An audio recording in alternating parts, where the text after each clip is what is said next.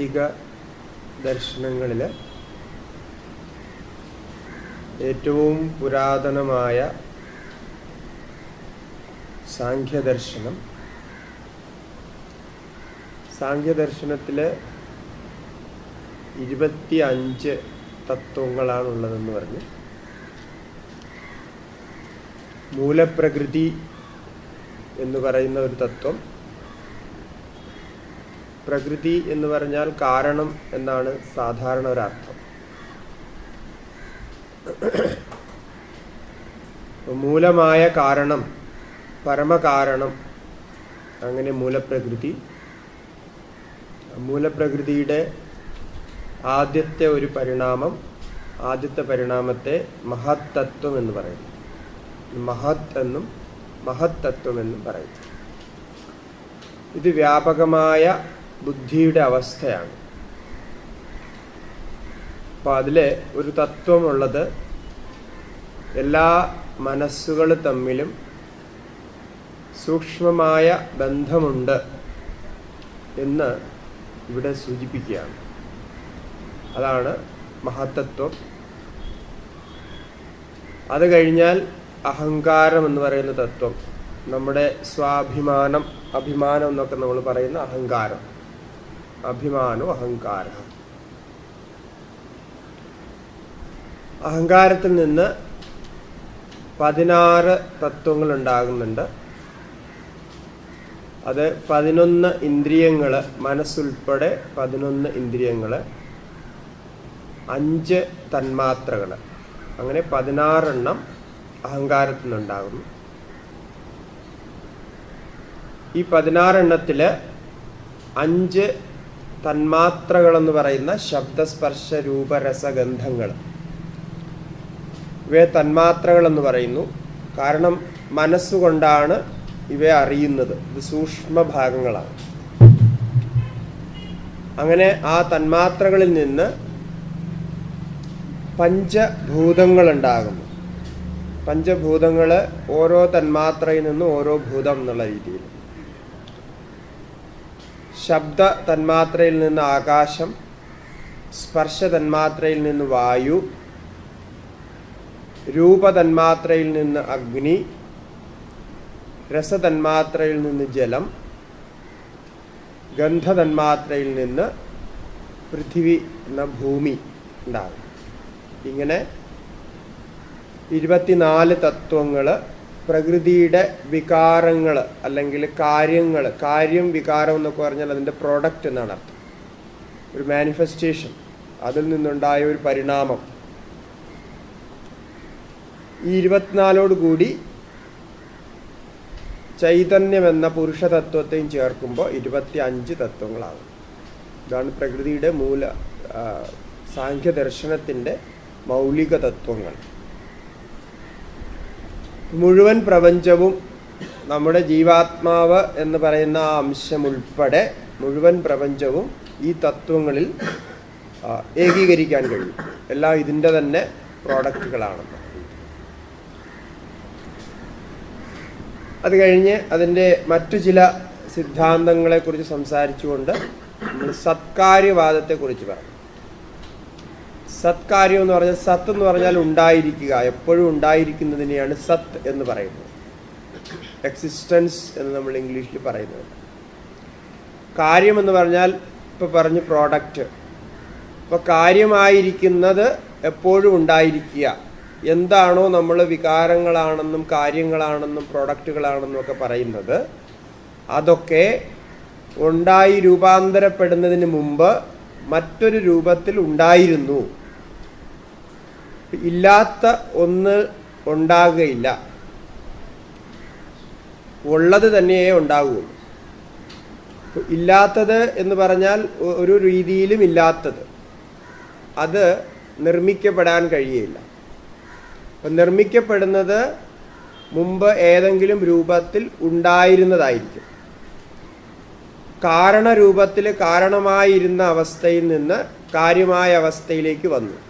അപ്പം അതിന് നമ്മൾ വിത്തിന്റെ ഉദാഹരണം പറഞ്ഞിരുന്നു. ചെടികളുടെ വിത്ത് മരങ്ങളുടെ വിത്ത്. വിത്തിൽ നോക്കിയാൽ അവിടെ മരം കാണാൻ പറ്റില്ല വിത്തിൽ പക്ഷേ വിത്തിൽ മരമുണ്ട് എന്ന് നമുക്ക് അനുമാനിക്കേണ്ടി വരും. വിത്തില്ലാത്തപ്പോൾ മരമുണ്ടാകുന്നില്ല. വിത്തുണ്ടെങ്കിൽ മാത്രമേ മരമുണ്ടാകുകയുള്ളൂ അപ്പം അതുകൊണ്ട് വിത്തിൽ മരമുണ്ടായിരുന്നു എന്ന് അനുമാനിക്കണം. അപ്പോൾ വിത്തിന് ചില ലക്ഷണങ്ങളൊക്കെ ഉണ്ടാവും. പക്ഷെ ആ ലക്ഷണങ്ങളൊന്നും നമുക്ക് തിരിച്ചറിയാൻ കഴിയില്ല. അപ്പം അവ്യക്തമായ രൂപത്തിൽ മരം വിത്തിൽ എങ്ങനെയാണോ ഇരിക്കുന്നത് അതുപോലെ ഈ പ്രപഞ്ചവും അവ്യക്തമായ രൂപത്തിൽ അതിന്റെ മൂലകാരണത്തിൽ ഉണ്ടായിരുന്നു പിന്നീട് അവിടുന്ന് വ്യക്തമായ രൂപത്തിൽ പ്രകടമായി എന്നാണ് സാഖ്യ സിദ്ധാന്തം പറയുന്നത്. അപ്പോൾ ഇത് വച്ച് നോക്കുമ്പോൾ നമ്മുടെ മനസ്സിലുണ്ടാകുന്ന ഓരോ വിചാരങ്ങളും എടുത്ത് നമ്മൾ നോക്കിയാൽ ആ വിചാരങ്ങൾക്കൊക്കെ മൂലമായ ഒരു കാരണമുണ്ടാകും. ആ വിചാരങ്ങളൊക്കെ മുൻപ് ഏതോ ഒരു അവസ്ഥയിൽ നിന്ന് ഇങ്ങോട്ട് മാറി വന്നതാണ്. ഇല്ലാതെ ഉണ്ടായി വരില്ല എന്നാണ്. ഇപ്പൊ സ്വപ്നത്തിൽ നമ്മൾ അനേകം വസ്തുക്കൾ കാണുന്നുണ്ട്. സ്വപ്നത്തിലെ വസ്തുക്കളെ ഒന്നും നമുക്ക് തിരിച്ചറിയാൻ കഴിയാറില്ല പലപ്പോഴും. അതൊന്നും ഒരു ക്രമത്തിലല്ല കാണുന്നത്. പക്ഷെ സ്വപ്നത്തിൽ നമ്മൾ ആസ്വദിക്കാറുണ്ട് സുഖവും ദുഃഖവും ഒക്കെ ആസ്വദിക്കാറുണ്ട്. ആ സുഖവും ദുഃഖവും അറിയുന്നത് മുൻപുണ്ടായിരുന്ന വിചാരങ്ങളിലാണ്. കാരണം നമ്മുടെ മനസ്സിലാണ് അതെല്ലാം കാണുന്നത്. അപ്പോൾ അത് മുമ്പുണ്ടായിരുന്നില്ലെങ്കിൽ അവിടെ പ്രകടമാകുക സാധ്യമല്ല. അപ്പം അവിടെ പ്രകടമാകുന്നത് കൊണ്ട് മനസ്സിലാക്കണം നമ്മുടെ മനസ്സിന്റെ അബോധ തലങ്ങളിൽ സബ് കോൺഷ്യസ് ലെവലിലുള്ള അബോധ തലങ്ങളിൽ ആ വിചാരങ്ങളൊക്കെ ഉണ്ടായിരുന്നു എന്ന്. ഇങ്ങനെയാണ് ഈ കാര്യവും കാരണവുമായിട്ടുള്ള ബന്ധം നമ്മൾ തിരിച്ചറിയുന്നത്. അപ്പോൾ അതുപോലെ നേരത്തെ നമ്മൾ പറഞ്ഞിരുന്നു എന്ത് പ്രകടമാകുന്നതും അതിന്റെ അവസാനം പരിണാമത്തിന്റെ അവസാനമാണ് നമ്മൾ ആ അതാ അതായിട്ട് കാണുന്നത്. ഉദാഹരണത്തിന് അസുഖങ്ങളുടെ കാര്യമൊക്കെ നമ്മൾ പറഞ്ഞു. അസുഖങ്ങൾ ഉണ്ടാകുന്നതിന് എത്രയോ ദിവസങ്ങൾ മുമ്പാണ് അതിന്റെ പരിണാമം തുടങ്ങുന്നത്. അസുഖങ്ങൾ ഉണ്ടാകാനുള്ള ഒരു തുടക്കം ഉണ്ടാകുന്നത്. അപ്പോൾ ഒരാഴ്ച സമയമൊക്കെ എടുക്കും അത്രയും ദിവസം മാറിയതിന് ശേഷമാണ് അസുഖങ്ങൾ ഉണ്ടാവുക. അപ്പം നമുക്ക് പെട്ടെന്ന് ഉണ്ടായതായിട്ട് തോന്നുന്നു. അപ്പോൾ എത്രത്തോളം നമ്മുടെ ശരീരത്തിന് റെസിസ്റ്റൻസ് പവർ ഉണ്ടോ അത്രത്തോളം അത് ദീർഘമായി പോകും അപ്പോൾ ശരീരം അത് പുറന്തള്ളാൻ ശ്രമിക്കും. നടക്കാത്തത് വരുമ്പോൾ അസുഖത്തിന്റെ രൂപത്തിൽ നമ്മുടെ ശരീരത്തെ അത് പീഡിപ്പിക്കും.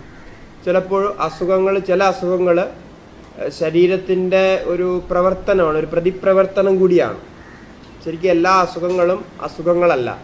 അത് പ്രതിപ്രവർത്തനത്തിന്റെ രൂപത്തിൽ വരുന്ന ഒരു ഭാവങ്ങൾ കൂടിയാണ് അസുഖങ്ങളായിട്ട് നമുക്ക് തോന്നുന്നത്. അപ്പോൾ അങ്ങനെ നമ്മൾ ചിന്തിക്കുമ്പോൾ സത്കാര്യവാദം സാഖ്യം പറയുന്നത് വളരെ ശരിയാണെന്ന് തോന്നും. കാരണം ഇന്നത്തെ സയൻസ് അത് അംഗീകരിച്ചിരിക്കുന്നു. എല്ലാ കാരണവും എല്ലാ കാര്യങ്ങളും ഒരു അവസ്ഥയിൽ അവ്യക്തമായിരിക്കുന്നു മറ്റൊരവസ്ഥയിൽ വ്യക്തമാകുന്നു. വീണ്ടും അത് അവ്യക്തത്തിലേക്ക് പോകുന്നു. അപ്പോൾ ഇങ്ങനെ മാറ്റം ഉണ്ടാകുന്നതേ ഉള്ളൂ. വസ്തുവിന് നാശം ഒരിക്കലും സംഭവിക്കുന്നില്ല. വാസ്തവമായ ഒരു തത്വം ഒരിക്കലും നഷ്ടപ്പെടുന്നില്ല എന്ന് അംഗീകരിക്കുന്നു. അതാണ് ഈ സത്കാര്യവാദം. ഇത് സാങ്കേത്തിന്റെ ഒരു അടിസ്ഥാന സിദ്ധാന്തമാണ്. അത് കഴിഞ്ഞ് പ്രകൃതിയുടെ സ്വഭാവം നമ്മൾ പറയുമ്പോൾ പറഞ്ഞിരുന്നു പ്രകൃതിയുടെ സ്വഭാവത്തിൽ മൂന്ന് ഗുണങ്ങളുണ്ട് എന്ന് പറഞ്ഞു. സത്വം രജസ് തമസ് എന്ന മൂന്ന് ഗുണങ്ങൾ ഈ മൂന്ന് ഗുണങ്ങൾ സത്വം എന്ന് പറഞ്ഞാൽ സത്വത്തിന്റെ ഒരു പ്രകട രൂപമാണ് ജ്ഞാനം. ജ്ഞാനം അറിവ് അതുപോലെ സന്തോഷം ആനന്ദം ശാന്തത. ഇതൊക്കെ സത്വഗുണത്തിന്റെ സ്വഭാവമാണ്. രജസിന്റെ സ്വഭാവമായിട്ട് വികാരങ്ങൾ ഒക്കെ രജസിന്റെ സ്വഭാവമാണ്. അതുപോലെ പ്രവൃത്തി നമ്മൾ എന്താണ് ക്രിയ ആക്ഷൻ എന്നൊക്കെ പറയുന്ന പ്രവൃത്തി ശരീരത്തിനും മനസ്സിനും പ്രവർത്തിക്കാനുള്ള ഒരു ഭാവം. അതിനെയാണ് രജസിന്റെ പ്രവർത്തനമായിട്ട് പറയുന്നത്.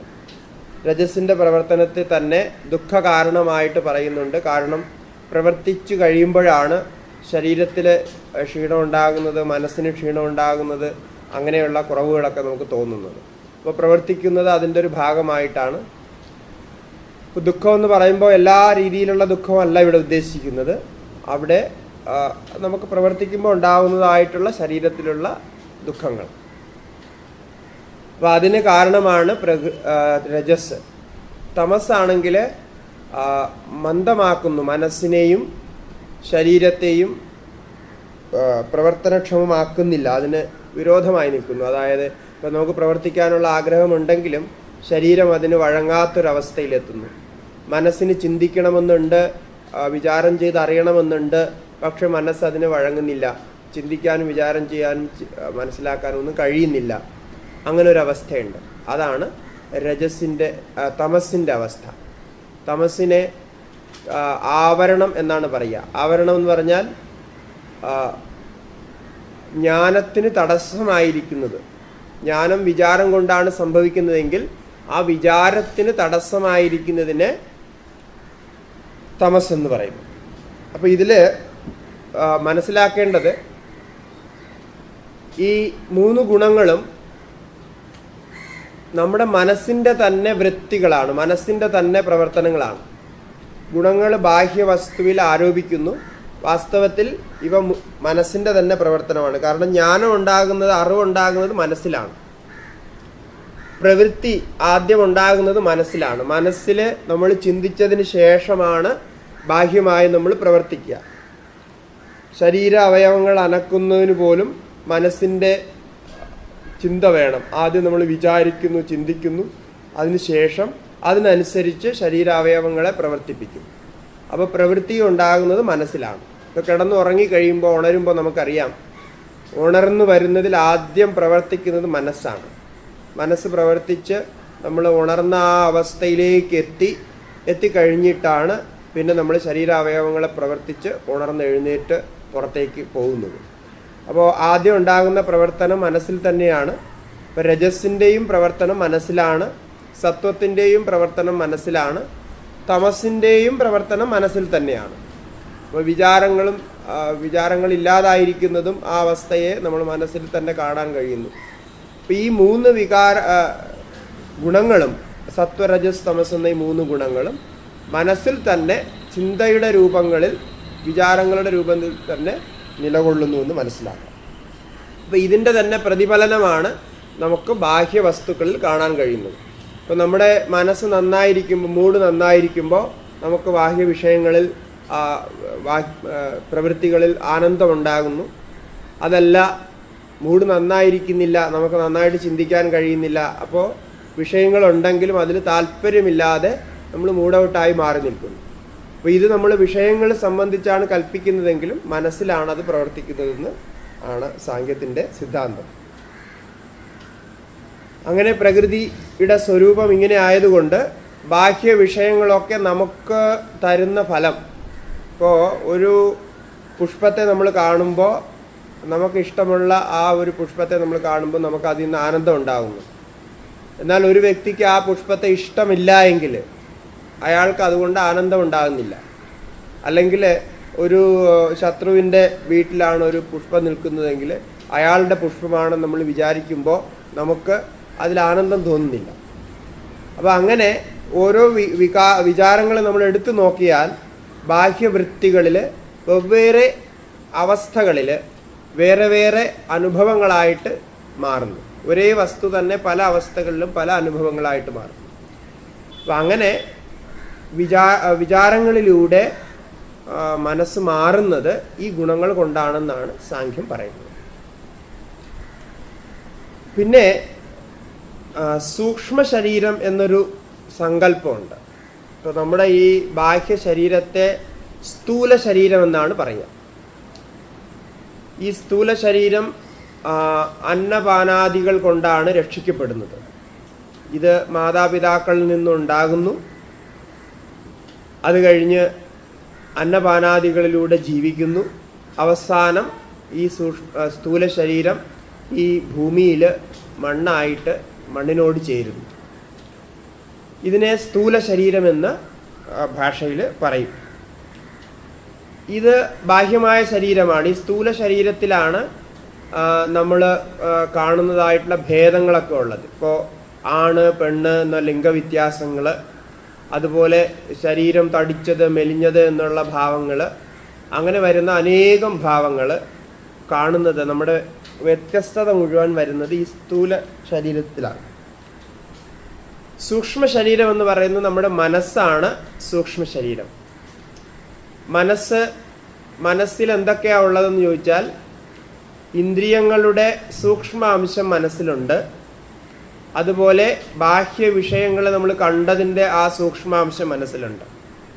ഇപ്പോൾ സാഖ്യ സിദ്ധാന്തം അനുസരിച്ച് അന്ധക്കരണം അന്ധക്കരണം എന്ന് പറയാം അകത്തുള്ള കരണങ്ങൾ അതിൽ ബുദ്ധി അഹങ്കാരം മനസ്സ്.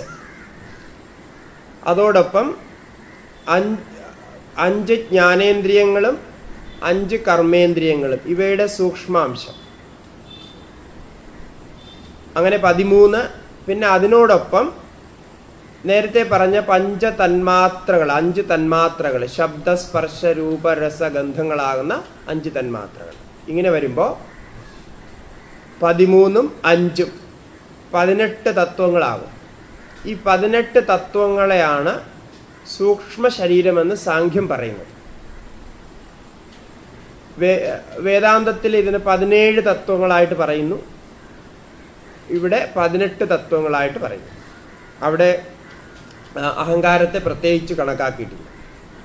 അപ്പോൾ അങ്ങനെ പതിനെട്ട് തത്വങ്ങളോട് ചേർന്ന സൂക്ഷ്മ ശരീരം ഈ സൂക്ഷ്മ ശരീരമാണ് നമ്മൾ സ്വപ്നത്തിൽ അനുഭവിക്കുന്നത്.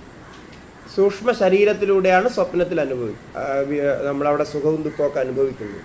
കാരണം സ്വപ്നം എന്ന് പറയുമ്പോൾ നമ്മൾ ഉറങ്ങിക്കിടന്നതിന് ശേഷം ഉണ്ടാകുന്നതാണ്. ഉറങ്ങിക്കിടക്കുക എന്ന് പറഞ്ഞാൽ ഈ ശരീരം ഉറങ്ങി. ഈ ശരീരത്തിന്റെ അസ്തിത്വം ഇല്ല അവിടെ അത് കിടക്കയിൽ പുതച്ച് കിടക്കുകയാണ്. സ്വപ്നത്തിൽ നമ്മൾ അവിടെ സഞ്ചരിക്കുന്നു അവിടെ ആഹാരം കഴിക്കുന്നു അല്ലെങ്കിൽ ദുഃഖങ്ങളും സുഖങ്ങളും ഒക്കെ പല രീതിയിലുള്ള എല്ലാ പ്രവൃത്തികളും ഏകദേശം നമ്മൾ പുറത്ത് ചെയ്യുന്നതായിട്ടുള്ള എല്ലാ പ്രവൃത്തികളും അവിടെ അനുഭവിക്കുന്നു. അപ്പോൾ ഈ ശരീരം കൊണ്ടാണോ അനുഭവിക്കുന്നതെന്ന് ചോദിച്ചാൽ ഈ ശരീരമല്ല അനുഭവിക്കുന്നത്. അവിടെ നമ്മൾ യാത്ര ചെയ്യുന്നത് ഈ ശരീരം കൊണ്ടല്ല. അപ്പോൾ എന്താണ് ഏതാണ് അവിടെ ശരീരം എന്ന് ചോദിച്ചാൽ ശരീരമുണ്ട് എന്ന് നമുക്കറിയാം. എന്തോ ഒരു ശരീരത്തിലാണ് നമ്മളിതെല്ലാം കാണുന്നത്. എന്താണ് ആ ശരീരം? നമ്മുടേതായ ശരീരം തന്നെയാണ്. നമ്മൾ തന്നെയാണ് അവിടെ ആ രീതിയിൽ പ്രകടമായിരിക്കുന്നത്. അങ്ങനെ അനുഭവിക്കുന്നു. അതുകൊണ്ടാണ് നമ്മൾ അനുഭവിച്ചു എന്ന ഭാവം നമുക്കവിടെ ഉണ്ടാകുന്നത് സ്വപ്നം ഞാൻ കണ്ടു എന്നാ പറയണം. ഞാൻ കാട്ടിൽ പോയി ഞാൻ കുളിക്കുന്നു ഞാൻ കഴിക്കുന്നു എനിക്ക് വിശക്കുന്നു എന്നൊക്കെയുള്ള ഭാവം ഇവിടെ എങ്ങനെയുണ്ടോ അവിടെ അതുപോലെ തന്നെ അവിടെയുണ്ട്. അതിനർത്ഥം ഈ ശരീരം വെടിഞ്ഞ ഒരു ശരീരത്തിന്റെ അവസ്ഥയാണ് അതെന്ന് നമുക്ക് മനസ്സിലാകും ഈ ശരീരവുമായിട്ട് അതിന് ബന്ധമില്ല. കാരണം ആ ശരീരത്തിൽ ഭക്ഷണം കഴിച്ചാൽ അത് ഈ ശരീരത്തിൽ എത്താറില്ല. ഈ ശരീരത്തിൽ കഴിച്ച ഭക്ഷണം ആ ശരീരത്തിൽ ഇല്ലാത്തതുപോലെയാണ് തോന്നുക. ഇവിടെ ഭക്ഷണം കഴിച്ചാണ് കടന്നുറങ്ങിയെങ്കിലും രാത്രി ആകുമ്പോൾ സ്വപ്നം കാണുമ്പോൾ ചിലപ്പോൾ അവിടെ വിശക്കുന്നതായിട്ട് സ്വപ്നം കാണും. അപ്പോൾ അതിനർത്ഥം ഈ ശരീരത്തിൽ നിന്ന് വ്യത്യസ്തമായ ഒരു ശരീരമാണ് അവിടെ നമ്മൾ അനുഭവിക്കുന്നതെന്ന് മനസ്സിലാക്കണം അപ്പോൾ ആ ശരീരമാണ് സൂക്ഷ്മ ശരീരം എന്ന് പറയുന്നത്. ഈ പറഞ്ഞ പതിനെട്ട് തത്വങ്ങളോട് കൂടിയ സൂക്ഷ്മ ശരീരമാണ് അവിടെ നമ്മൾ അനുഭവിക്കുന്നത്. അത് കഴിഞ്ഞ് സാഖ്യത്തിലെ ഈ ശരീരത്തിന്റെ തന്നെ വേറൊരു ഭേദം കൂടിയുണ്ട്. അതിനെ ലിംഗശരീരം എന്നാണ് പറയുന്നത്. ലിംഗശരീരം എന്ന് പറഞ്ഞാൽ ലക്ഷണമാത്രമായ ശരീരം. കേവലം ലക്ഷണമാത്രമായിരിക്കുന്ന ശരീരം എന്നാണ് അർത്ഥം. ആ ലിംഗശരീരത്തിൽ ഉള്ള പ്രത്യേകത ഈ പറഞ്ഞ സൂക്ഷ്മ ശരീരത്തിലെ അഞ്ച് തന്മാത്രകളെ മാറ്റിയാൽ ബാക്കിയുള്ളതാണ് ലിംഗശരീരം. അതായത് ബുദ്ധി മനസ്സ് അഹങ്കാരം പിന്നെ ഇന്ദ്രിയങ്ങൾ പത്ത് ഇന്ദ്രിയങ്ങൾ അങ്ങനെ പതിമൂന്ന് തത്വങ്ങൾ വരുമ്പോൾ അതിന് ലിംഗശരീരം എന്ന് പറയും. അതിൽ തന്മാത്രകളെ പറയുന്നില്ല. അതിനെയും അനുഭവിക്കുന്നുണ്ട്. അത് സൂക്ഷ്മ ശരീരത്തിന്റെയും കൂടുതൽ വ്യക്തമായ ഒരു അവസ്ഥയിലാണ് അത് അനുഭവിക്കുന്നത്. ലിംഗശരീരം എല്ലാ ശരീരത്തിലും പ്രവേശിക്കുകയും പുറത്തു വരികയൊക്കെ ചെയ്യുന്നത് വ്യാപകമാണെന്നുള്ള രീതിയിലുള്ള കൺസെപ്റ്റാണ് സാഹിത്യത്തിനുള്ളത് പിന്നെ സൃഷ്ടി. സൃഷ്ടിയുടെ ക്രമത്തിൽ ഇപ്പോൾ നമ്മൾ പറഞ്ഞ ഒരു സൃഷ്ടിയുണ്ട്. അതായത് ബാഹ്യമായ സൃഷ്ടി. ബാഹ്യമായ സൃഷ്ടിയെ ഭൂതസൃഷ്ടി എന്നുള്ള രീതിയിൽ ബാഹ്യമായ സൃഷ്ടിയുണ്ട്. അതിൽ ഭാവാത്മകമായ സൃഷ്ടിയുമുണ്ട്. ഭാവാത്മകമായ സൃഷ്ടിയെ ബൗദ്ധിക സൃഷ്ടി എന്നാണ് പറയണം. ബുദ്ധിയുടെ സൃഷ്ടി. ബുദ്ധിയുടെ സൃഷ്ടിയാണ് നമ്മുടെ വിചാരങ്ങൾ എന്ന് പറയുന്നത്. പ്രത്യയ സർഗം എന്ന് പറയുന്ന പ്രത്യയങ്ങളൊക്കെ ബുദ്ധിയുടെ സൃഷ്ടിയാണ്. ബുദ്ധിയുടെ സൃഷ്ടിയിൽ ജ്ഞാനം അജ്ഞാനം എന്നിങ്ങനെ ബുദ്ധിയുടെ സൃഷ്ടിയുണ്ട്. അപ്പോൾ എട്ട് പ്രകാരത്തിൽ ബുദ്ധിയുടെ സൃഷ്ടി പറയുന്നുണ്ട്. അത് ബുദ്ധിയിലുണ്ടാകുന്ന മനസ്സിലുണ്ടാകുന്ന ഭാവങ്ങളാണ്. വിപര്യം അശക്തി തുഷ്ടി എന്നൊക്കെ പറയുന്നത് ബുദ്ധി സൃഷ്ടി സൃഷ്ടിയിൽ പെടുന്നു ഭൗതിക സൃഷ്ടിയാണ് നമ്മൾ സാധാരണ വെളിയിൽ അനുഭവിക്കുന്ന സൃഷ്ടി. ഭൂ ഭൂതങ്ങൾ ഭൂതങ്ങൾ എന്ന് പറഞ്ഞാൽ പഞ്ചഭൂതങ്ങൾ. ഈ പഞ്ചഭൂതങ്ങൾ ചേർന്ന് വരുന്നതാണ് ഈ ശരീരവും ബാക്കിയൊക്കെ. അപ്പോൾ അതിൽ അനുഭവിക്കുന്ന സൃഷ്ടിയെ ഭൂതസൃഷ്ടി എന്ന് പറയും. ഇങ്ങനെ സാഖ്യത്തിന്റെ ഒരു സാമാന്യ രൂപം ഇങ്ങനെയാണ്. ഇതുവരെയും നമ്മൾ ആ അതിന്റെ സ്പെഷ്യൽ കാര്യങ്ങളെക്കുറിച്ചാണ് സംസാരിച്ചത്. ഇങ്ങനെയൊക്കെയുള്ള വിഷയങ്ങളാണ് അതിൽ ചർച്ച ചെയ്തിരിക്കുന്നത്. പിന്നെ ഇപ്പോൾ സൂക്ഷ്മ തലങ്ങളെക്കുറിച്ച് പറയുമ്പോൾ നമുക്ക് സംശയം വരുന്ന പല കാര്യങ്ങളുണ്ട്. ഇപ്പോൾ ഈശ്വരൻ ഉണ്ട് നമ്മൾ വിചാരിക്കുന്നു. അല്ലെങ്കിൽ പ്രകൃതിയുടെ ഈ പറയുന്ന ഏറ്റവും സൂക്ഷ്മമായ അവസ്ഥയെക്കുറിച്ച് നമ്മൾ ചിന്തിക്കുന്നു. ഈ സൂക്ഷ്മമായ അവസ്ഥയെ നമുക്ക് കാണാൻ കഴിയുന്നില്ല. അത് നമ്മുടെ പ്രയോഗത്തിൽ വരുന്നില്ല. അതിനെ നമുക്ക് ഒരു രീതിയിലും അറിയാൻ കഴിയുന്നില്ല. അപ്പം അങ്ങനെയുള്ള ഒരു തത്വം ഉണ്ട് എന്ന് എന്തുകൊണ്ട് നമ്മൾ കരുതണം? അങ്ങനത്തുള്ള തത്വം ഇല്ല എന്ന് പറഞ്ഞാൽ എന്താണ് ദോഷം? എന്ന് ചോദിച്ചാൽ അതിന് ഉത്തരമായിട്ട് സാഖ്യം കുറേ യുക്തികൾ പറയുന്നുണ്ട്. അങ്ങനെയുള്ളത് ഇല്ല എന്ന് പറയാൻ പറ്റില്ല. നമുക്ക് കാണാൻ കഴിയുന്നില്ല നമുക്ക് അനുഭവിക്കാൻ കഴിയുന്നില്ല. അതുകൊണ്ട് അതില്ല എന്ന് പറയുന്നത് തെറ്റാണ്. കാരണം എന്തെന്ന് ചോദിച്ചാൽ നമുക്ക് കാണാൻ കഴിയാത്ത വസ്തുക്കൾ ഉള്ളതായിട്ട് മറ്റൊരു രീതിയിൽ നമുക്കറിയാം. അതിന് കാരണം അതിദൂരാത് ഇന്ദ്രിയ അഭിഘാത അതായത് ഒരു വസ്തു വളരെ ദൂരെയാണ് ഇരിക്കുന്നതെങ്കിൽ ദൂരെ ഇരിക്കുന്നു പക്ഷെ നമുക്കത് അറിയാൻ കഴിയുന്നില്ല. അതുകൊണ്ട് അതില്ല എന്ന് നമ്മൾ കരുതുന്നു. പക്ഷെ ദൂരെ അതുണ്ട്. അതിന്റെ അസ്തിത്വം ദൂരെ ഉണ്ട്. അപ്പോൾ ദൂരം കൂടിയാൽ വസ്തുക്കളെ അറിയാൻ കഴിയില്ല.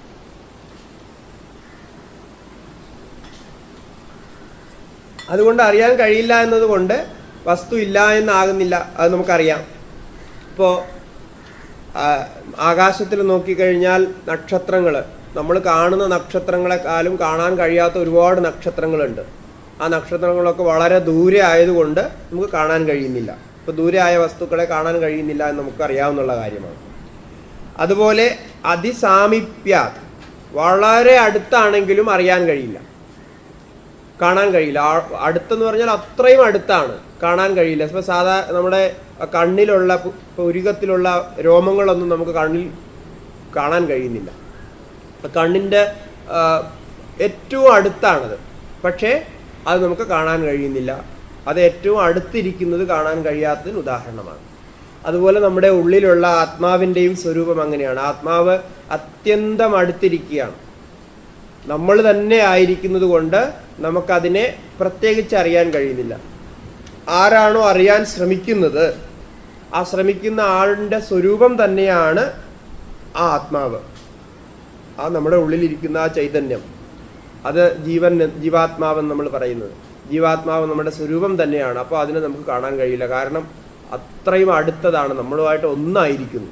അപ്പോൾ അതിസാമീപ്യം കൊണ്ടും നമുക്കറിയാൻ കഴിയില്ല. പിന്നെ ഇന്ദ്രിയങ്ങൾക്ക് കാണാൻ കഴിയാത്ത അവസ്ഥയുണ്ട്.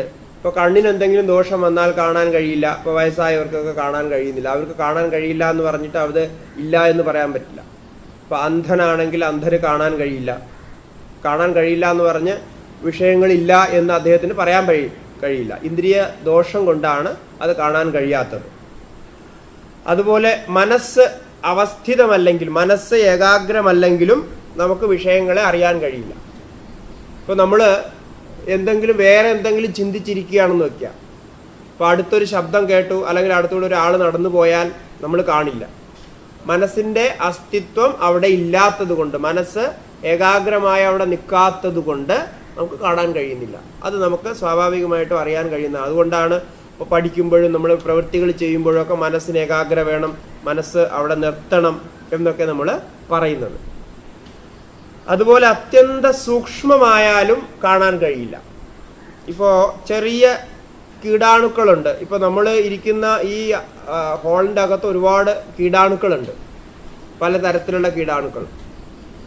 ഈ കീടാണുക്കളെയൊന്നും നമുക്ക് കാണാൻ കഴിയുന്നില്ല. കാണാൻ കഴിയാത്ത എന്തുകൊണ്ടാണ്? അത് വളരെ സൂക്ഷ്മമായിരിക്കുന്നതുകൊണ്ടാണ്. ബാക്ടീരിയ ഒന്നും നമുക്ക് കണ്ണുകൊണ്ട് കാണാൻ കഴിയില്ല. മൈക്രോസ്കോപ്പിലൂടെ നോക്കിയാൽ മാത്രമേ അവയെ കാണാൻ കഴിയൂ. അപ്പോൾ അങ്ങനെ നോക്കുകയാണെങ്കിൽ ഇവിടെ നോക്കിക്കഴിഞ്ഞാൽ ഒരുപാട് ചെറിയ ചെറിയ കീടങ്ങൾ ഉണ്ട ഉള്ളതായിട്ട് നമുക്ക് കാണാൻ കഴിയും. ചെറിയ പ്രാണികൾ ജീവികളൊക്കെ. അപ്പോൾ അങ്ങനെ ചെറിയ വസ്തുക്കളെ നമുക്ക് കാണാൻ കഴിയാത്തത് സൂക്ഷ്മത കൊണ്ടാണ്. എന്ന് പറഞ്ഞ് കാണുന്നില്ല എന്ന് പറഞ്ഞ് അതില്ല എന്ന് പറയാൻ കഴിയില്ല. അപ്പോൾ നേരത്തെ നമ്മൾ പറഞ്ഞതുപോലെ വിത്തിൽ ഇരിക്കുന്ന വൃക്ഷത്തെ വൃക്ഷത്തിന്റെ സ്വരൂപത്തെ നമുക്ക് കാണാൻ കഴിയുന്നില്ല. കാരണം ആ സ്വരൂപം അതിന്റെ പൊട്ടൻസിയുടെ രൂപത്തിലാണ് ഇരിക്കുന്നത്. അതിന്റെ ഏറ്റവും എസൻസ് ആയിട്ടുള്ള സാരമായിട്ടുള്ള രൂപത്തിലാണ് ഇരിക്കുന്നത്. ആ രൂപത്തിലിരിക്കുന്നത് കൊണ്ട് അതിനെ നമുക്ക് കാണാൻ കഴിയുന്നില്ല. അത് അത്രയും സൂക്ഷ്മമാണ്. അങ്ങനെ സൂക്ഷ്മമായ വസ്തുക്കളെ കാണാൻ കഴിയില്ല. അതുകൊണ്ടാണ് അതിസൂക്ഷ്മമായ ഈ പ്രകൃതിയുടെ സ്വരൂപത്തെയും ചൈതന്യത്തിന്റെ സ്വരൂപത്തെയും അതുപോലെ തന്നെ സൂക്ഷ്മങ്ങളായ മറ്റ് കാരണങ്ങളെയും നമുക്ക് കാണാൻ കഴിയാത്തത്. ഇപ്പം ഈശ്വര തത്വത്തെ പറയുന്നവർക്ക് ഈശ്വര തത്വത്തെയും പറയാം. അങ്ങനെ ഇരിക്കുന്ന പരമാത്മാവിനെ നമുക്ക് കാണാൻ കഴിയുന്നില്ല. കാരണം അത്രയും സൂക്ഷ്മമാണ്. നമ്മുടെ ശരീരത്തിലുള്ള എത്രയോ ജീവജാലങ്ങളുണ്ട്. എത്രയോ കോടിക്കണക്കിന് ബാക്ടീരിയകളാണ് നമ്മുടെ ശരീരത്തിലൂടെ പ്രവർത്തിച്ചുകൊണ്ടിരിക്കുന്നത്. ആ ബാക്ടീരിയകളൊന്നും നമ്മൾ കാണുന്നില്ല. നമുക്ക് അറിയാനുള്ള അതിന് വഴിയില്ല. അപ്പോൾ അങ്ങനെ സൂക്ഷ്മമായിരിക്കുന്ന അവസ്ഥയിൽ അതിനെ കാണാൻ കഴിയില്ല. പിന്നെ സാധാരണ നമുക്കറിയാം വ്യവധാനം. വ്യവധാനം എന്ന് പറഞ്ഞാൽ രണ്ട് വസ്തുക്കൾക്ക് ഇടയ്ക്ക് മറ്റൊന്നുണ്ടെങ്കിൽ അപ്പുറത്തിരിക്കുന്ന വസ്തുവിനെ നമുക്ക് കാണാൻ കഴിയില്ല. ഇതിന് വ്യവധാനം എന്ന് പറയും. ഇപ്പോൾ ഈ മതിലിന് അപ്പുറത്തുള്ളത് നമുക്ക് കാണാൻ കഴിയില്ല. ഇപ്പോൾ പുറത്തിരിക്കുമ്പോൾ മാത്രമേ അത് കാണാൻ കഴിയുള്ളൂ. ഇപ്പോൾ വ്യവധാനം കൊണ്ടും കാണാൻ കഴിയില്ല.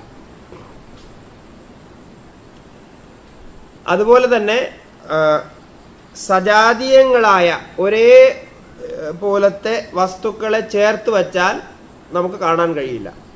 ഒരേപോലത്തെ സജാതീയങ്ങളായ വസ്തുക്കൾ ഒരുമിച്ചിരിക്കുകയാണെങ്കിൽ നമുക്ക് കാണാൻ കഴിയില്ല. ഉദാഹരണത്തിന് പകൽ സമയത്തും നക്ഷത്രങ്ങളുടെ പ്രകാശമുണ്ട്. ചന്ദ്രന്റെയും പ്രകാശമുണ്ട്. പക്ഷെ പകൽ സമയത്ത് നക്ഷത്രങ്ങളുടെ പ്രകാശം നമുക്ക് കാണാൻ കഴിയുന്നില്ല നക്ഷത്രങ്ങളെയും നമുക്ക് കാണാൻ കഴിയുന്നില്ല. എന്തുകൊണ്ടാണ്? ഇതൊക്കെ നമ്മൾ സ്കൂളിൽ പഠിച്ചതാണ്. അതിന് കാരണം സൂര്യന്റെ പ്രകാശം വരുമ്പോൾ സൂര്യപ്രകാശത്തിന്റെ തേജസ്സിൽ നക്ഷത്രങ്ങളുടെ ചെറിയ പ്രകാശങ്ങൾ ലയിച്ചു പോകുന്നു. സമാന ജാതീയമാണത്. അതുകൊണ്ട് നക്ഷത്രങ്ങളുടെ പ്രകാശം വേറെ വരുന്നില്ല. വേറെ കാണാൻ കഴിയുന്നില്ല. വാസ്തവത്തിൽ പകൽ സമയത്തും നക്ഷത്രങ്ങളുണ്ട്. സൂര്യൻ ഉദിച്ചു കഴിയുമ്പോൾ അതെല്ലാം മറഞ്ഞു പോകുന്നു. സൂര്യൻ ഉദിക്കുന്നതിന് തൊട്ട് മുമ്പ് വരെ മാത്രമേ നമുക്ക് നക്ഷത്രങ്ങളെ കാണാൻ കഴിയുള്ളൂ. അപ്പോൾ അത് സജാതീയമായതുകൊണ്ട് കാണാൻ കഴിയാത്തതാണ്. സൂര്യപ്രകാശത്തിൽ കാണാൻ കഴിയാത്തതുപോലെ. പിന്നെ സമാന അഭികാരം എന്ന് പറയുന്ന മറ്റൊരു കാരണം കൂടെയുണ്ട്. അതെങ്ങനെയെന്ന് ചോദിച്ചാൽ ഇപ്പോൾ ഒന്നിനോട് ഒന്ന് ചേർന്ന് പോയി കഴിഞ്ഞാൽ കാണാൻ കഴിയില്ല. ഇപ്പോൾ കടലിൽ മറ്റ് നദികളിൽ നിന്ന് വരുന്ന വെള്ളമൊക്കെ ചേരാറുണ്ട്. എല്ലാ മഴ മഴ പെയ്തു വരുന്ന വെള്ളം നദിയിൽ നിന്ന് വരുന്ന വെള്ളം എല്ലാം വെള്ളം ഒന്നാവാറുണ്ട്. പക്ഷേ ആ വെള്ളം നമുക്ക് വേർതിരിച്ചറിയാൻ കഴിയില്ല. കുറച്ച് സമയം കഴിഞ്ഞ് ആ വെള്ളത്തിന് മാറ്റിയെടുക്കണമെന്ന് പറഞ്ഞാൽ അങ്ങനെ മാറ്റിയെടുക്കാൻ കഴിയില്ല. അത് കടൽ വെള്ളമായിട്ട് തന്നെ മാറും. അത് കടൽ വെള്ളം ആയോ എന്ന് ചോദിച്ചാൽ നദിയിലെ വെള്ളം വേറെയാണ്. അത് ഉപ്പില്ലാത്ത വെള്ളമായിരുന്നു. അല്ലെങ്കിൽ മഴ പെയ്ത വെള്ളം ഉപ്പില്ലാത്ത വെള്ളമായിരുന്നു. പക്ഷേ അതിൽ കടൽ ചേർന്നപ്പോൾ അത് ഉപ്പുള്ള വെള്ളമായി. അങ്ങനെ അത് ഒന്നായി തീർന്നത് പോലെ ആയി. അങ്ങനെ സമാന സ്വഭാവത്തോട് കൂടി ചേരുമ്പോഴും നമുക്ക് അറിയാൻ കഴിയില്ല. അപ്പം ഇങ്ങനെ പല കാരണങ്ങൾ കൊണ്ട് നമുക്ക് വസ്തുക്കളുടെ സ്വരൂപം അറിയാൻ കഴിയുന്നില്ല. അതുകൊണ്ട് വസ്തുവിനെ അറിയാൻ കഴിയാത്തത് കൊണ്ട് അതില്ല എന്ന് പറഞ്ഞ് തള്ളിക്കളയാൻ പാടില്ല. അതിനെ അറിയാനുള്ള വഴി കണ്ടെത്തി അതിന് ശ്രമിക്കുക. അപ്പോൾ അതാണ് അറി- അറിയാൻ കഴിയുമെന്നാണ്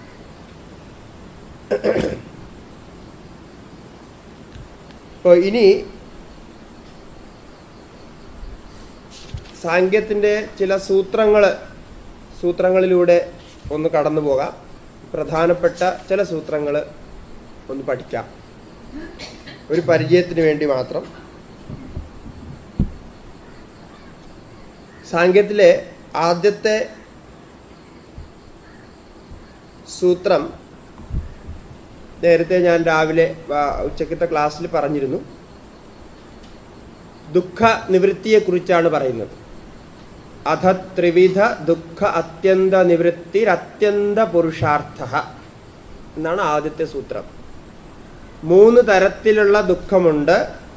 ദുഃഖങ്ങൾ അനേകമുണ്ട് പക്ഷെ ആ ദുഃഖങ്ങളൊക്കെ മൂന്ന് വിഭാഗത്തിൽപ്പെടുത്തി മൂന്ന് ഗ്രൂപ്പാക്കി. കാരണം അനേകമുള്ളതിനെ നമുക്ക് എണ്ണി തിട്ടപ്പെടുത്താൻ കഴിയില്ല. അപ്പോൾ എന്താ ചെയ്യുന്നത്? അതിന് വർഗീകരി വർഗീകരണം നടത്തും. വിഭാഗങ്ങളിലേക്ക് മാറ്റും. അങ്ങനെ മൂന്ന് വിഭാഗമുണ്ട്. അതിന് നമ്മൾ പറയുന്നത് ആധ്യാത്മിക ദുഃഖം. ആധ്യാത്മിക ദുഃഖം എന്ന് പറഞ്ഞാൽ ശരീരത്തിലും മനസ്സിലും ഉണ്ടാകുന്ന ദുഃഖം. ശരീരവും മനസ്സും കാരണമായി ഉണ്ടാകുന്ന ദുഃഖം.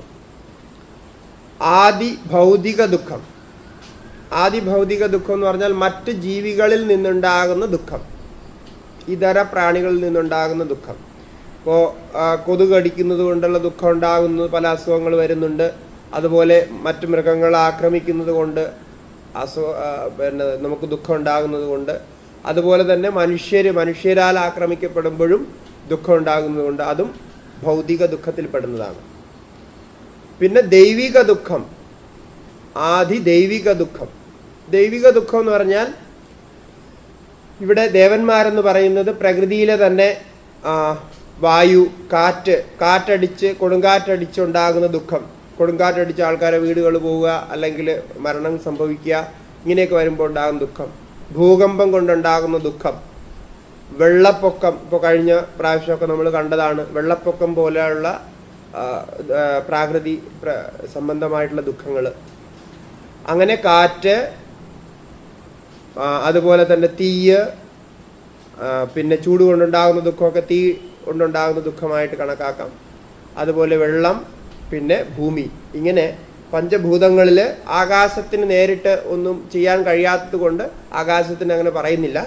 ബാക്കി നാല് ഭൂതങ്ങളിൽ നിന്ന് നമുക്ക് ദുഃഖം ഉണ്ടാകുന്നുണ്ട് വായു അഗ്നി ജലം അതുപോലെ തന്നെ സൂര്യചന്ദ്രന്മാർ അതിൽ നിന്നുണ്ടാകുന്ന ദുഃഖം. സൂര്യൻ കൂടുതൽ താപം തരുന്നു കൂടുതൽ ചൂടാകുന്ന സമയത്ത് ചൂട് കൊണ്ടുണ്ടാകുന്ന ദുഃഖം സൂര്യതാപത്തിൽ നിന്നുണ്ടാകുന്ന ദുഃഖം.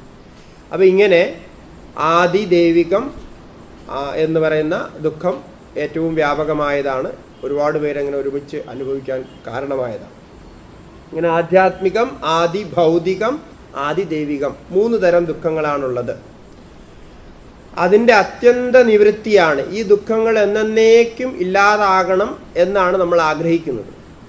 ഇപ്പോൾ രാവിലെ നമ്മൾ പറഞ്ഞപ്പോൾ ജീവിത ലക്ഷ്യം എന്താണ് എന്ന് ചോദിച്ചാൽ ശരിക്കും ശരി നമ്മൾ ചിന്തിക്കാത്തത് കൊണ്ട് ഒരു പക്ഷെ നമുക്ക് അറിയില്ല എന്തിനാണ് നമ്മൾ ജീവിക്കുന്നത്. നമ്മൾ ജീവിക്കുന്നത് അതിനൊരു പരമമായ ലക്ഷ്യം എന്താണെന്ന് നമുക്കറിയില്ല. നമ്മൾ താൽക്കാലിക ലക്ഷ്യങ്ങൾ മുൻനിർത്തിയാണ് ജീവിക്കുന്നത്. ഇപ്പോൾ പഠിക്കുന്ന സമയത്ത് ലക്ഷ്യം എന്താണെന്ന് ചോദിച്ചാൽ നന്നായിട്ട് പഠിക്കണം പഠിച്ചൊരു ജോലി കിട്ടണം എന്നുള്ളതാണ് ലക്ഷ്യം. ജോലി കിട്ടിക്കഴിഞ്ഞാൽ പിന്നെ കുടുംബജീവിതത്തിലേക്ക് ആഗ്രഹിക്കുന്നവർ കുടുംബജീവിതമായിട്ട് കുടുംബമായിട്ട് ജീവിക്കണം സുഖമായി ജീവിക്കണമെന്ന് ലക്ഷ്യമിടുന്നു. അങ്ങനെ സുഖമായി ജീവിക്കുമ്പോൾ മക്കളുണ്ടാകണം മക്കളോട് കൂടി ജീവിക്കണമെന്ന ലക്ഷ്യം വരുന്നു. പിന്നെ മക്കളെ പഠിപ്പിക്കണമെന്നത് ലക്ഷ്യമായി. മക്കളെ പഠിപ്പിച്ച് വളരെ വലുതാക്കി അവർക്കും അതുപോലെ ജോലിയൊക്കെ കിട്ടുന്ന ഒരു അവസ്ഥ ഉണ്ടാകും അവർ സുഖമായിട്ട് ജീവിക്കണമെന്ന ലക്ഷ്യമായി. ഇങ്ങനെ അവസാന ജീവിത അവസാനം വരെ ആ ലക്ഷ്യം പൂർണമായും പൂർണമാക്കി അതോടുകൂടി നമ്മൾ ലക്ഷ്യപ്രാപ്തി സാധിച്ചതായിട്ട് കരുതുന്നു. പക്ഷെ ഇതൊക്കെ ആയാലും ഒരു അതൃപ്തി ഉണ്ടാകുന്നുണ്ട് ജീവിതത്തിൽ അത് പൂർണമാകുന്നില്ല. ജീവിതം അപൂർണമാണെന്നുള്ളൊരു തോന്നലുണ്ട്. പിന്നെ ഇതോടൊപ്പം തന്നെ ചിലർക്കൊക്കെ ലക്ഷ- ലക്ഷ്യമുണ്ടാകും. എനിക്ക് കൂടുതൽ പേരും പ്രശസ്തിയും വേണം. എല്ലാവരെക്കാളും എനിക്ക് അധികം ധനമുണ്ടാകണം. എല്ലാവരും എല്ലാത്തിലും വലിയൊരു പദം എനിക്ക് പ്രാപിക്കണം. ഇപ്പോൾ പ്രസിഡന്റ് പോലെയുള്ള വലിയ വലിയ പദങ്ങൾ പ്രാപിക്കണം. ഇങ്ങനെയൊക്കെയുള്ള പദങ്ങൾ മറ്റോ ലക്ഷ്യങ്ങളൊക്കെ ഉണ്ടാകും. അത് വലിയ സ്ഥാനങ്ങൾ പ്രാപിക്കാനുള്ള ലക്ഷ്യങ്ങളുണ്ടാകും. അതൊക്കെ അതിന്റെ കൂടെ വരുന്ന ലക്ഷ്യങ്ങളാണ്. പക്ഷെ ഇതൊക്കെയാണോ ജീവിതത്തിലെ ലക്ഷ്യമെന്ന് ചോദിച്ചു കഴിഞ്ഞാൽ വാസ്തവത്തിൽ ഇതൊന്നും ലക്ഷ്യമല്ല. ലക്ഷ്യമായിട്ട് ശരിക്കും പറയേണ്ടത് ഇതിന്നൊക്കെ കിട്ടുന്ന ഒരു സുഖമുണ്ട്. അതാണ് പരമമായ ലക്ഷ്യം. അപ്പോൾ ഈ ആഗ്രഹം വരുമ്പോൾ ആഗ്രഹത്തിന് വേണ്ടി നമ്മൾ ദിനരാത്രം പ്രവർത്തിക്കുന്നു. ആ പ്രവർത്തിച്ച ആഗ്രഹം സാധിക്കാനുള്ള എല്ലാ ശ്രമങ്ങളും നടത്തുന്നു. അപ്പോൾ അത് ലക്ഷ്യമാണെന്ന് പറയാൻ പറ്റില്ല. കാരണം ശ്രമമാണ് അവിടെ നമ്മൾ ചെയ്യുന്നത്. ശ്രമം ഒരിക്കലും ലക്ഷ്യമല്ല. ശ്രമത്തിന്റെ ഫലമാണ് ലക്ഷ്യം. ഫലം എന്തെന്ന് ചോദിച്ചാൽ ഫലം സുഖമാണ് അതൊരു സാറ്റിസ്ഫാക്ഷനാണ് ഒരു തൃപ്തിയാണ്. അപ്പോൾ തൃപ്തിയാണ് ജീവിതത്തിലെ ലക്ഷ്യം. ആ തൃപ്തി സുഖം എന്ന് പറയുന്ന ആ തൃപ്തി. ഈ സന്തോഷമെന്നും സുഖമെന്നും പറയുന്ന തൃപ്തിയെയാണ്. തൃപ്തിയും സുഖവും ഒന്നാണ്. എപ്പോഴാണോ തൃപ്തി ഉണ്ടാകുന്നത് അപ്പോഴാണ് സുഖം ഉണ്ടാകുക.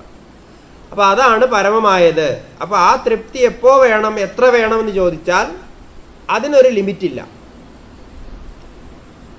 അത് നമുക്കിങ്ങനെ കൂടുതൽ കൂടുതൽ ഉണ്ടാകണമെന്നാണ് നമ്മൾ ആഗ്രഹിക്കുന്നത്. ആദ്യം കുറച്ച് പൈസ ഉണ്ടായാൽ നന്നായിട്ട് ജീവിക്കാമെന്ന് ആഗ്രഹിച്ചു.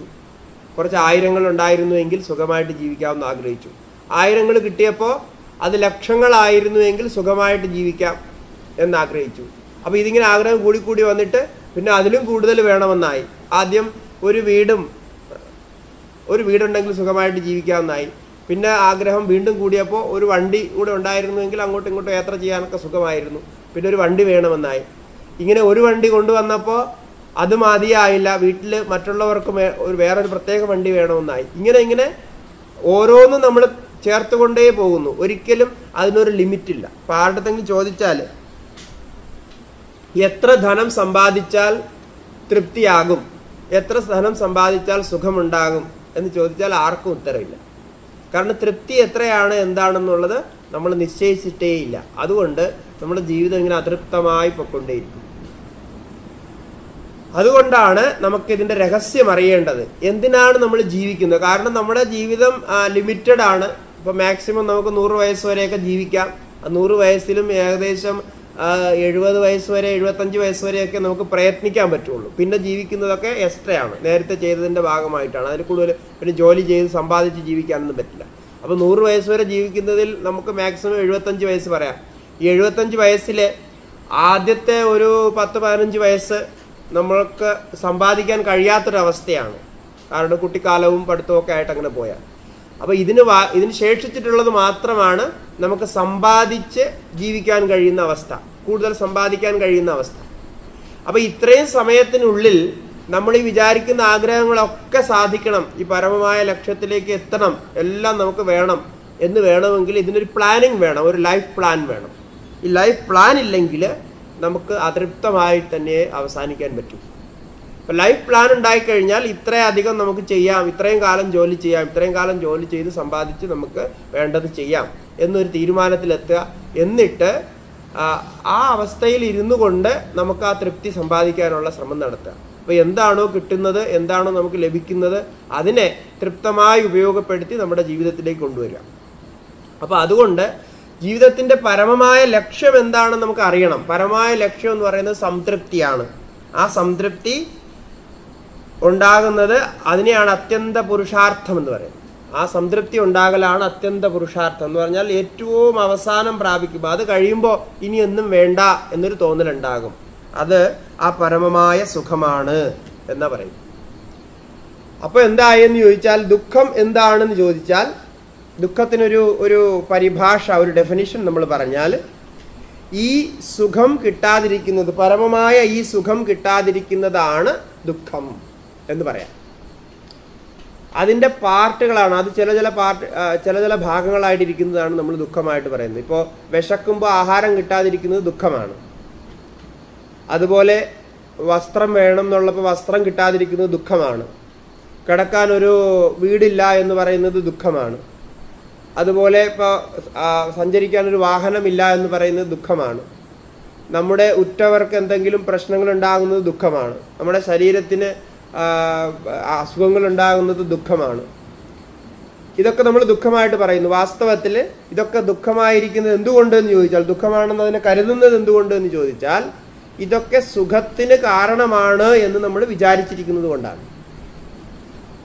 ശരീരത്തിന് അസുഖം വന്നാൽ ശരീര സംബന്ധമായ സുഖം ഇല്ലാതാകും. ശരീരത്തിൽ നമുക്ക് നിരന്തരം സുഖം ഉണ്ടാകുന്നുണ്ട് പല തരത്തിലുള്ള സുഖങ്ങൾ.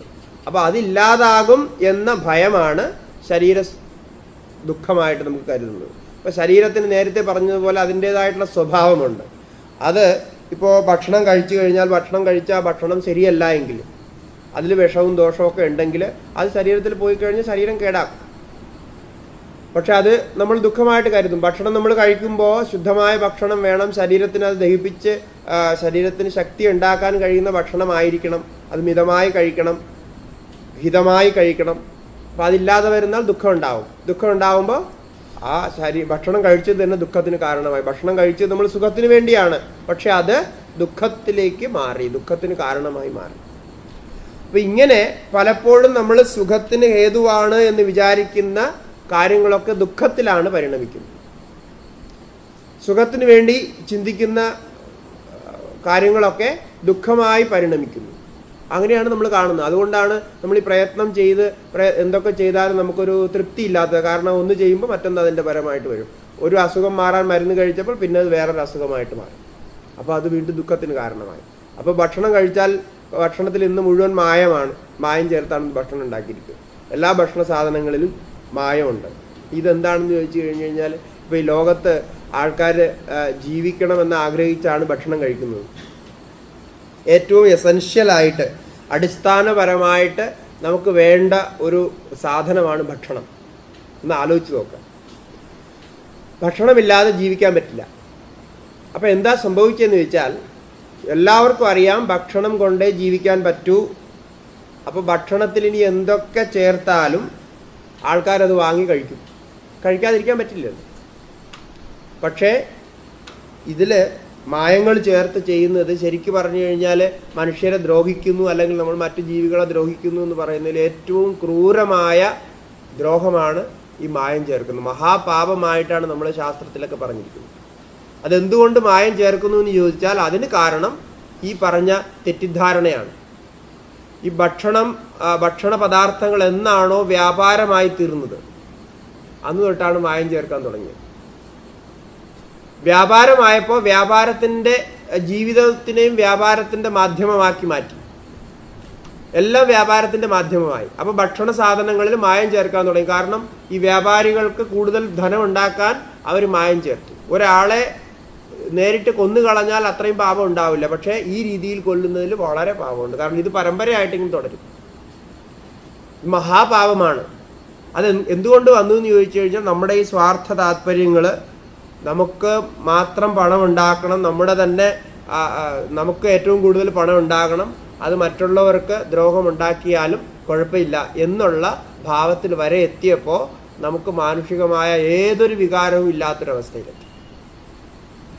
എല്ലാത്തിലും ഇപ്പം അതാണ്. ഇപ്പം എന്താ ഒന്ന് ആലോചിച്ച് നോക്കും. അപ്പം ഈ ലോകത്ത് നിന്നുകൊണ്ട് നമുക്ക് എങ്ങനെയാ എങ്ങനെയാ ജീവിക്കാൻ പറ്റുക? എങ്ങനെയാ നമുക്ക് സുഖം ഉണ്ടാവുക? നമ്മൾ വരുന്ന പരമ്പരയെ എങ്ങനെയാ നമ്മൾ രക്ഷിക്കുക? നമ്മളെ കുട്ടികളെ എങ്ങനെയാണ് നമ്മൾ വളർത്തുക? ഒന്നും സാധ്യമല്ല. അപ്പം ഇതിന്റെ മൂലം എവിടെയാണ് എവിടെയാണ് ഈ പ്രശ്നം നിൽക്കുന്നതെന്ന് കണ്ടുപിടിക്കണം. എല്ലാത്തിലും മരുന്ന് വാങ്ങാൻ പോയി കഴിഞ്ഞാൽ മരുന്നിൽ മുഴുവൻ ചേരുവകളാണ് മരുന്ന് മുഴുവൻ മായമാണ്. കാരണം മരുന്ന് ഇന്ന് വലിയൊരു ബിസിനസ്സാണ്. അത് വിദേശ കമ്പനികൾ അല്ലെങ്കിൽ ദേശത്തിലുള്ള വിദേശത്തിലുള്ള കമ്പനികൾ വലിയ വലിയ കമ്പനികളാണ് ഈ മരുന്നുകൾ ഉണ്ടാക്കുന്നത്. അവരുടെ ഒരു ഇൻവെസ്റ്റ്മെന്റ് ഉണ്ട്. ആ ഇൻവെസ്റ്റ്മെന്റിന്റെ ഫലമാണ് അവർ നോക്കുന്നത്. ആൾക്കാർക്ക് അതുകൊണ്ട് എന്താണ് ദോഷമെന്ന് നോക്കുന്നില്ല. ഇപ്പോൾ ഈ ഇപ്പോൾ പത്ത് വർഷം മുമ്പ് നമ്മൾ കഴിച്ചുകൊണ്ടിരുന്ന മരുന്നുകളൊക്കെ ഇപ്പോൾ നിർത്തി. സർക്കാർ ഇപ്പോൾ അതൊക്കെ നിരോധിച്ചു. ഈ പത്ത് വർഷം മുമ്പ് ഈ മരുന്നുകളൊക്കെ കഴിച്ച അവർക്ക് രോഗമുണ്ട് രോഗം ഉണ്ടായിരുന്നത് ഈ മരുന്ന് കാരണമായിട്ടാണെന്ന് തെളിഞ്ഞു. ആരെങ്കിലും അതിനെതിരായിട്ട് എന്തെങ്കിലും ചെയ്യുന്നില്ല ഒന്നും ചെയ്യുന്നില്ല. അപ്പോൾ അതിപ്പോഴും വിഷമാണെന്ന് കരുതി ഇപ്പോൾ തൊണ്ണൂറോളം മരുന്നുകൾ മുഖ്യമായിട്ടുള്ള തൊണ്ണൂറോളം മരുന്നുകൾ നിർത്തലാക്കി.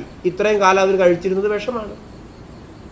അപ്പോൾ ഇതെല്ലാം സംഭവിക്കുന്നത് ഈ പറഞ്ഞ ഒരു ഇതാണ് നമ്മൾ മാനുഷികാവസ്ഥ അല്ലെങ്കിൽ മനുഷ്യന്റെ ഒരു സഹജമായ ഒരു ജീവിതം അവരുടെ ഒരു സുരക്ഷിതത്വം എന്നൊക്കെ ഇങ്ങനെ പിന്നെ ആൾക്കാർ പറയുന്നതല്ലാണ്ട് ഇതിൽ വാസ്തവത്തിൽ ഏതൊന്നുമായിട്ട് ബന്ധമില്ല. എല്ലാത്തിലും ബിസിനസ്സാണ്. വ്യാപാരമാണ്. വ്യാപാരം പൈസ സമ്പാദിക്കണം ഈ പൈസ കൊണ്ട് എന്ത് ചെയ്യുമെന്ന് ചോദിച്ചു കഴിഞ്ഞാൽ പൈസ കൊണ്ട് ചെയ്യുന്നത് എന്താണെന്ന് ആർക്കും അറിയില്ല. കാരണം പൈസ കൊണ്ട് ചെയ്യേണ്ടിയിരുന്നത് ഈ പറഞ്ഞ കാര്യങ്ങളാണ്. ഭക്ഷ്യസാധനങ്ങൾ വാങ്ങിച്ച് കഴിക്കുക അതിലുള്ള ഈ ലോകത്ത് സുഖം അനുഭവിക്കുക എന്നുള്ളതായിരുന്നു പൈസ കൊണ്ട് ചെയ്യേണ്ടിയിരുന്നത്. പക്ഷേ പൈസ കൊണ്ട് ചെയ്യാൻ അത് ചെയ്യാൻ കഴിയുന്നില്ല. കാരണം എന്ത് കഴിച്ചാലും അതിന് മായമാണെന്ന് പറഞ്ഞാൽ പിന്നെ ദുഃഖമാണല്ലേ വീണ്ടും ഉണ്ടാവുക. അതിങ്ങനെ സുഖം ഉണ്ടാവും. പിന്നെ ബാക്കി ധനം കൊണ്ട് എന്താ ഒരു പ്രയോജനം? ഒരു പ്രയോജനവും ഇല്ല. അപ്പോൾ അത്രയും മാത്രമേ നമുക്ക് ചിന്തിക്കാൻ കഴിയുന്നുള്ളൂ. എന്ന് വരുമ്പോൾ ഇതൊക്കെ ആദി ഭൗതിക ദുഃഖങ്ങളിൽ പെടുന്നതാണ്. ഇതൊക്കെ നമുക്ക് ചുറ്റും നമ്മൾ തന്നെ ചെയ്യുന്ന ദുഃഖം. അപ്പം മനുഷ്യൻ ഏറ്റവും വലിയ ബുദ്ധിജീവി ഏറ്റവും കാര്യങ്ങൾ നന്നായിട്ട് അറിയാൻ കഴിയുന്ന ജീവിയായിട്ടാണ് മനുഷ്യനെ കരുതുന്നത്. മനുഷ്യനാണ് ഈ പറയുന്ന പ്രശ്നങ്ങൾ മുഴുവൻ ഉണ്ടാക്കുന്നത്. ഇതൊന്നും മറ്റ് ജീവികൾ ഉണ്ടാക്കുന്നതല്ല. അപ്പോൾ ഇതൊക്കെ മനുഷ്യൻ ഉണ്ടാക്കുന്നതാണ്. അപ്പം ഇങ്ങനെ ദുഃഖത്തിന്റെ ഒരു സ്വരൂപം നമ്മൾ നോക്കി പോയി കഴിഞ്ഞാൽ എന്താണ് ദുഃഖമെന്ന് നോക്കി പോയി പോയി കഴിഞ്ഞാൽ നമ്മുടെ അറിവില്ലായ്മ അല്ലെങ്കിൽ നമ്മൾ ശരീരത്തിനെയും മനസ്സിനെയൊക്കെ നമ്മുടെ സ്വരൂപമായിട്ട് കണക്കാക്കിയിരിക്കുന്നതാണ് നമ്മുടെ ദുഃഖത്തിന് കാരണം. അപ്പോൾ അത് ഇല്ലാതായാൽ ശരീരം ശരീരത്തിന്റെ രീതിയിൽ പ്രവർത്തിക്കും. അത് എത്ര കാലം പ്രവർത്തിക്കണോ അത്രയും കാലം പ്രവർത്തിക്കും. അതിനെ സൂക്ഷിച്ചു കൊണ്ടുപോയി കഴിഞ്ഞാൽ കൂടുതൽ കാലം പ്രവർത്തിക്കും. അതൊരു യന്ത്രമാണ്. ആ യന്ത്രത്തിൽ എത്രത്തോളം നമ്മൾ ആ യന്ത്രത്തെ ഉപയോഗിക്കും അതുപോലെ അത് പ്രവർത്തിക്കും. അപ്പോൾ ശരീരത്തിന് ശരീരത്തിന്റെതായിട്ടുള്ള രീതിയുണ്ട്. മനസ്സിന് മനസ്സിന്റെതായിട്ടുള്ള പ്രവർത്തന രീതിയുണ്ട്. ബുദ്ധിക്ക് ബുദ്ധിയുടേതായിട്ടുള്ള പ്രവർത്തന രീതിയുണ്ട് എന്ന് നമ്മൾ മനസ്സിലാക്കി. അതുപോലെ തന്നെ ബാഹ്യ വസ്തുക്കളും ബാഹ്യ വസ്തുക്കളതായിട്ടുള്ള പ്രവർത്തന രീതിയുണ്ട്. ഇപ്പോൾ ഭൂകമ്പം ഉണ്ടാകുന്നു. ഭൂകമ്പം നമ്മളാരും ഉണ്ടാക്കുന്നതല്ല. ഭൂകമ്പം ആ ഭഗവാന്റെ ആ ഒരു ശക്തി അല്ലെങ്കിൽ ആ ഒരു വ്യാപകമായ ശക്തിയുടെ ഒരു പ്രവർത്തനമാണ്. ഭൂമിയുടെ പ്രകൃതിയുടെ സ്വഭാവമായിട്ടുള്ള കാര്യമാണ്. അത് ആർക്കും ഒന്നും ചെയ്യാൻ പറ്റില്ല. അപ്പോൾ അതുകൊണ്ട് വരുന്ന ദുഃഖം നമുക്ക് അനുഭവിച്ചേ പറ്റൂ. പക്ഷേ ശാരീരികവും മാനസികവുമായ ദുഃഖങ്ങളെ നമുക്ക് മാറ്റാൻ കഴിയും.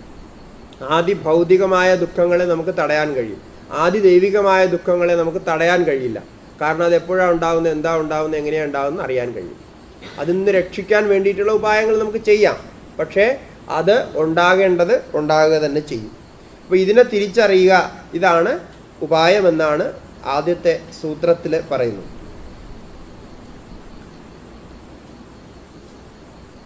അത് കഴിഞ്ഞാൽ ഈ സാധന ചെയ്യുമ്പോൾ ഇപ്പോൾ നമുക്ക് ഉപായങ്ങൾ തേടാം. ഉപായങ്ങൾ തേടുന്നതിന് പലതരത്തിലുള്ള ഉപായങ്ങളുണ്ട്. അതിൽ നമുക്ക് ആത്യന്തികമായ ഒരു ഉപായം വേണമെങ്കിൽ നമ്മുടെ തന്നെ സ്വരൂപം എന്താണെന്ന് നമ്മൾ അറിയണം. ആത്യന്തികമായ ഒരു ഉപായം എന്ന് പറഞ്ഞാൽ ഇപ്പം നേരത്തെ പറഞ്ഞു നമ്മൾ ശരീരമാണ് നമ്മുടെ സ്വരൂപം എന്നറിഞ്ഞാൽ ശരീരം ജനിച്ചു ശരീരം മരിച്ചു പോകും. അപ്പോൾ നമ്മൾ മരിച്ചു പോകും എന്നുള്ള ദുഃഖം നമുക്കുണ്ടാകും. വാസ്തവത്തിൽ നമ്മുടെ സ്വരൂപം മരിക്കാത്തതാണ് എന്നും നിലനിൽക്കുന്നതാണ് എന്ന് നമ്മൾ മനസ്സിലാക്കിയാൽ ആ ശരീരം മരിച്ചു പോകും എന്നുള്ള ഭയത്തിൽ നിന്ന് നമുക്ക് മുക്തമാവാൻ കഴിയും. അപ്പോൾ അതാ എങ്ങനെ മനസ്സിലാക്കണമെന്നുള്ളതാണ്. അത് ഓരോ അവസ്ഥയിലും ഭിന്നമായി കാണുന്നെങ്കിലും വാസ്തവത്തിൽ അത് ഒന്നാണ്. അതെങ്ങനെ മനസ്സിലാകാമെന്ന് ചോദിച്ചാൽ ഇപ്പോൾ നമ്മൾ കിടന്നുറങ്ങുമ്പോൾ കിടന്നുറങ്ങുന്നത് ഏതവസ്ഥയിലാണെന്ന് നമ്മൾ ചിന്തിക്കുക. ഇപ്പോൾ ശരീരം അവിടെ ഇല്ല. നേരത്തെ പറഞ്ഞു സ്വപ്നാവസ്ഥയിൽ പോലും നമ്മുടെ ഈ ശരീരം പ്രവർത്തിക്കുന്നില്ല. ഈ സ്ഥൂല ശരീരം കിടക്കയിൽ കിടന്നുറങ്ങുന്നു. സ്വപ്നത്തിൽ നമ്മൾ വേറൊരു ശരീരത്തിലാണ് പ്രവർത്തിക്കുന്നത്. ആ സ്വപ്നത്തിൽ വേറെ ശരീരത്തിലാണ് പ്രവർത്തിക്കുന്നതെങ്കിലും അവിടെയും നമ്മുടെ അസ്തിത്വമുണ്ട് എന്ന് നമ്മൾ മനസ്സിലാക്കുന്നു. കാരണം അസ്തിത്വം അറിഞ്ഞുകൊണ്ടാണ് നമ്മൾ പ്രവർത്തിക്കുന്നത് അവിടെ. അപ്പോൾ അതിനർത്ഥം ഈ സ്ഥൂല ശരീരമല്ല നമ്മുടെ സ്വരൂപമെന്ന് ഉറപ്പാണ്. സ്ഥൂല ശരീരമാണ് നമ്മുടെ സ്വരൂപമെങ്കിൽ ഉറങ്ങിക്കിടന്നു കഴിഞ്ഞാൽ സ്ഥൂല ശരീരത്തോടു കൂടി അത് ഉറങ്ങിക്കിടക്കണമായിരുന്നു. പിന്നെ സ്വപ്നത്തിൽ കാണുന്നതിൽ ഞാനെന്ന് അഭിമാനിച്ച് ഞാനെന്ന് പ്രവർത്തിക്കാൻ എങ്ങനെയാ കഴിയുക? അപ്പൊ ഞാനെന്ന് അവിടെ പ്രവർത്തിക്കുന്നുണ്ട്. അപ്പോൾ അവിടെ സൂക്ഷ്മ ശരീരമാണ് പ്രവർത്തിക്കുന്നത്. അപ്പോൾ സ്ഥൂല ഭിന്നമായ ഒരു സൂക്ഷ്മ ശരീരമുണ്ട് എന്ന് മനസ്സിലായി. അപ്പോൾ അത് ഈ ഈ ശരീരത്തിന്റെ ഭേദം മനസ്സിലാക്കാൻ വളരെ നല്ലതാണ്. പിന്നെ അവിടുന്ന് നമ്മളെ അതിനെയും കടന്ന് ഗാഠനിദ്രയിലേക്ക് പോകുമ്പോൾ ഗാഠനിദ്ര വളരെ അത്ഭുതമായ ഒരു സ്റ്റേറ്റാണ് അത്ഭുതമായ ഒരു അവസ്ഥയാണ് അവിടെ ഈ സ്ഥൂല ശരീരമില്ല നേരത്തെ പറഞ്ഞ സൂക്ഷ്മ ശരീരം അല്ലെങ്കിൽ മനസ്സുമില്ല ഒന്നുമില്ല. നമ്മുടെ അഹങ്കാരം അല്ലെങ്കിൽ ഞാൻ എന്നുള്ള അഭിമാനമില്ല. ഞാൻ സ്ത്രീയാണ് പുരുഷനാണ് എന്നുള്ള ബോധമില്ല. അല്ലെങ്കിൽ താൻ എത്ര വലിയ പണക്കാരനാണ് എന്നുള്ള ബോധവും അവിടെ ഇല്ല. പാവപ്പെട്ടവനാണോ അതും ഇല്ല. ശരീരത്തിൽ എന്തെങ്കിലും ദുഃഖമുണ്ടോ അതും അറിയുന്നില്ല. ബാഹ്യമായ എന്തെങ്കിലും ഓർമ്മിക്കുന്നുണ്ടോ ഒന്നും അറിയുന്നില്ല. താൻ മനുഷ്യനാണ് എന്നുള്ള ഓർമ്മ പോലും അവിടെ ഇല്ല. അതിനർത്ഥം എല്ലാം അവിടെ മറഞ്ഞു എന്ന് നമ്മൾ എന്തൊക്കെയാണോ നമ്മുടെ സ്വരൂപമായിട്ട് കരുതുന്നത് അതെല്ലാം അവിടെ മറഞ്ഞുപോയി. അവിടെ ഇല്ലാതായി. ഇല്ലാതായി കഴിഞ്ഞ ഒരവസ്ഥയിലാണ് നമ്മൾ ഉറങ്ങുന്നത്. അപ്പൊ അവിടെ നാം ഉണ്ടോ ഇല്ലേ എന്ന് ചോദിച്ചാൽ അതിനെക്കുറിച്ച് നമ്മൾ ചിന്തിക്കണം. അവിടെ നമ്മൾ ഉണ്ടോ ഇല്ലയോ? ഉണ്ട് എന്നുള്ളത് ഉറപ്പാണ്. കാരണം ഉണർന്നു വരുന്ന ഒരാൾ പറയും ഞാൻ ഇന്നലെ രാത്രി സുഖമായി ഉറങ്ങി. ഒന്നും അറിയാതെ സുഖമായി ഉറങ്ങി എന്ന് പറയും. അപ്പോൾ ഒന്നും അറിയാതെ സുഖമായി ഉറങ്ങുന്ന ഒരാൾ അവിടെ ഉണ്ടായിരുന്നു. അത് താൻ തന്നെയാണ് എന്ന് ഉറപ്പാണ്. തന്റെ അഭാവം താൻ ഇല്ലാതായി എന്ന് പറയുന്നില്ല. ഇന്നലെ രാത്രി ഞാൻ കിടന്നുറങ്ങിയപ്പോൾ മരിച്ചുപോയി. ഞാൻ ഇല്ലാതായി എന്ന് ആരും അനുഭവിക്കുന്നില്ല. അതെന്തുകൊണ്ടാണെന്ന് നമ്മൾ ചിന്തിക്കുക. അപ്പോൾ അതിനർത്ഥം ഇതിനെല്ലാം അപ്പുറത്ത് ഇതിനെല്ലാം അടിസ്ഥാനമായിട്ട് നമ്മുടെ സ്വരൂപം എന്നും നിലനിൽക്കുന്നുണ്ട്. ഈ പറയുന്ന ശരീരവും മനസ്സും ഇതൊന്നും ഇല്ലെങ്കിലും ഇതിന്റെ പ്രവർത്തനം ഇല്ലെങ്കിലും നമ്മുടെ അസ്തിത്വം അവിടെ ഉണ്ട്. എന്ന് നമുക്ക് സുഷുപ്തിയിൽ അറിയാൻ കഴിയുന്നുണ്ട്. ഈ സുഷുപ്തിയിൽ എന്താണോ അറിയാൻ കഴിയുന്നത് അതുപോലെ തന്നെയാണ് നമ്മുടെ മരണവും സംഭവിക്കുന്നത് എന്നാണ് ശാസ്ത്രങ്ങൾ പറയുന്നത്. സാങ്കേതിലായാലും എല്ലാ ദർശനത്തിലും അത് തന്നെയാണ് പറയുന്നത്. എങ്ങനെയാണോ നമ്മൾ ഉറക്കത്തിലേക്ക് പോകുന്നത് അതുപോലെയാണ് നമ്മൾ നമുക്ക് മരണം ഉണ്ടാകുന്നത്. നമ്മുടെ അഭാവ അവസ്ഥ എന്ന് പറയുന്ന ആ മരണം ഉണ്ടാകുന്ന അവസ്ഥ. അല്ലാതെ വേറെ ഒന്നും അവിടെ സംഭവിക്കുന്നില്ല. അപ്പൊ അങ്ങനെ ഉണ്ടായാലും തന്റെ അസ്തിത്വം അവിടെ ഉണ്ടാകും എന്നത് ഉറപ്പാണ്. കാരണം ഈ അനുഭവം അങ്ങനെയാണ് കാണിക്കുന്നത്. ഇപ്പോൾ ശരീരം പ്രവർത്തിക്കാത്ത അവസ്ഥയിലും താൻ ഉണ്ടായിരുന്നു എന്നറിഞ്ഞാൽ നമ്മെ സംബന്ധിച്ചിടത്തോളം നമ്മുടെ അസ്തിത്വം നമുക്ക് അറിയാൻ കഴിയും. ഇപ്പോൾ മരണത്തിൽ വരുമ്പോൾ ശരീരം പിന്നെ പ്രവർത്തിക്കുന്നില്ല അതുകൊണ്ട് അതിനെ മരണമായിട്ട് കണക്കാക്കുന്നു എന്ന് മാത്രം. കാരണം ശരീരത്തിൽ പിന്നെ പ്രവർത്തിക്കാനുള്ള കഴിവില്ലാതായി ശരീരത്തിന് ഡാമേജ് സംഭവിച്ചു. അത് അപകടത്തിൽപ്പെട്ടോ അല്ലെങ്കിൽ ആ ശരീരത്തിന് വയസ്സായതുകൊണ്ടോ ഇന്ദ്രിയങ്ങളും മനസ്സും മറ്റും പ്രവർത്തിക്കാൻ കഴിയാത്തൊരവസ്ഥയിലെത്തിയപ്പോൾ ആ ശരീരത്തെ നേരത്തെ പറഞ്ഞതുപോലെ കേടായ വാഹനത്തെ ഉപേക്ഷിക്കുന്നത് പോലെ ശരീരത്തെ ഉപേക്ഷിച്ചു പോകും പ്രാണൻ എന്ന് മാത്രം. രണ്ടാമത് അതിന് പ്രവർത്തിക്കില്ല. ഇവിടെ രണ്ടാമതും പ്രവർത്തിക്കുന്നു കാരണം അവിടെ ശരീരത്തിന് പ്രവർത്തിക്കാനുള്ള ശക്തി ഉള്ളതുകൊണ്ട് രണ്ടാമതും പ്രവർത്തിക്കും. അപ്പം ഇങ്ങനെ ദുഃഖത്രയ നിവൃത്തിക്ക് വേണ്ടിയിട്ടാണ് മൊത്തം നമ്മൾ പ്രവർത്തിക്കുന്നത് അതിൽ നമ്മളെ സ്വരൂപത്തെ എന്താണെന്ന് അറിഞ്ഞാൽ ആ ദുഃഖ നിവൃത്തി പൂർണമായിട്ടും ഉണ്ടാകും. കാരണം ഈ ദുഃഖത്തിനൊക്കെ കാരണം നമ്മൾ നമ്മൾ മരിച്ചു പോകും എന്നുള്ള ഒരു ഭയമാണ്. ആ മരണഭയത്തിൽ നിന്ന് പുറത്തു വന്നാൽ ദുഃഖ നിവൃത്തി ഉണ്ടാകും. അപ്പം അങ്ങനെ അറിയുന്ന എല്ലാത്തിനെയും അറിഞ്ഞിരിക്കുന്ന നമ്മുടെ ഒരു സ്വരൂപമുണ്ട്. ആ സ്വരൂപത്തെ സാക്ഷി എന്ന് പറയും. ഈ സാക്ഷിയെയാണ് നമ്മൾ ആത്മാവെന്ന് പറയുന്നത്. അല്ലെങ്കിൽ ചൈതന്യം എന്ന് പറയുന്നത്. ഈ മൂന്ന് അവസ്ഥകളെയും അറിയുന്ന ഒരു സാക്ഷി. ഇപ്പോൾ ജാഗ്രത അവസ്ഥ ഉണർന്നിരിക്കുന്ന അവസ്ഥയും അറിയുന്നു. ഉറങ്ങിക്കൊണ്ടിരിക്കുന്ന അവസ്ഥയിലും ഞാനുണ്ട് എന്നറിയുന്നു. അതുപോലെ ഉറക്ക അവസ്ഥയിലും ഞാൻ ഉണ്ടായിരുന്നു എന്നറിയുന്നു. അങ്ങനെ അറിയുന്ന ഒരവസ്ഥയുണ്ട്. അതാണ് നമ്മുടെ യഥാർത്ഥ സ്വരൂപം. അതിന് സാക്ഷി എന്ന് പറയും. സാക്ഷാ സംബന്ധാത് സാക്ഷിത്വം എന്നാണ് അതിനെക്കുറിച്ച് സൂത്രം പറയുന്നത്. സാക്ഷാത് സംബന്ധമുണ്ട്. ഈ വിഷയങ്ങളെ ഈ പറയുന്നതൊക്കെ നമ്മൾ അറിഞ്ഞുകൊണ്ടേയിരിക്കുന്നു. ആ അറിഞ്ഞുകൊണ്ടിരിക്കുന്നവൻ ആര് എന്ന് നമ്മൾ ചിന്തിച്ചാൽ നമ്മുടെ തന്നെ സ്വരൂപമാണ് അത് അറിഞ്ഞുകൊണ്ടിരിക്കുന്നത്. നമ്മളെപ്പോഴും അറിഞ്ഞുകൊണ്ടിരിക്കുന്നു എന്ന് നമുക്ക് മനസ്സിലാക്കാൻ കഴിയും.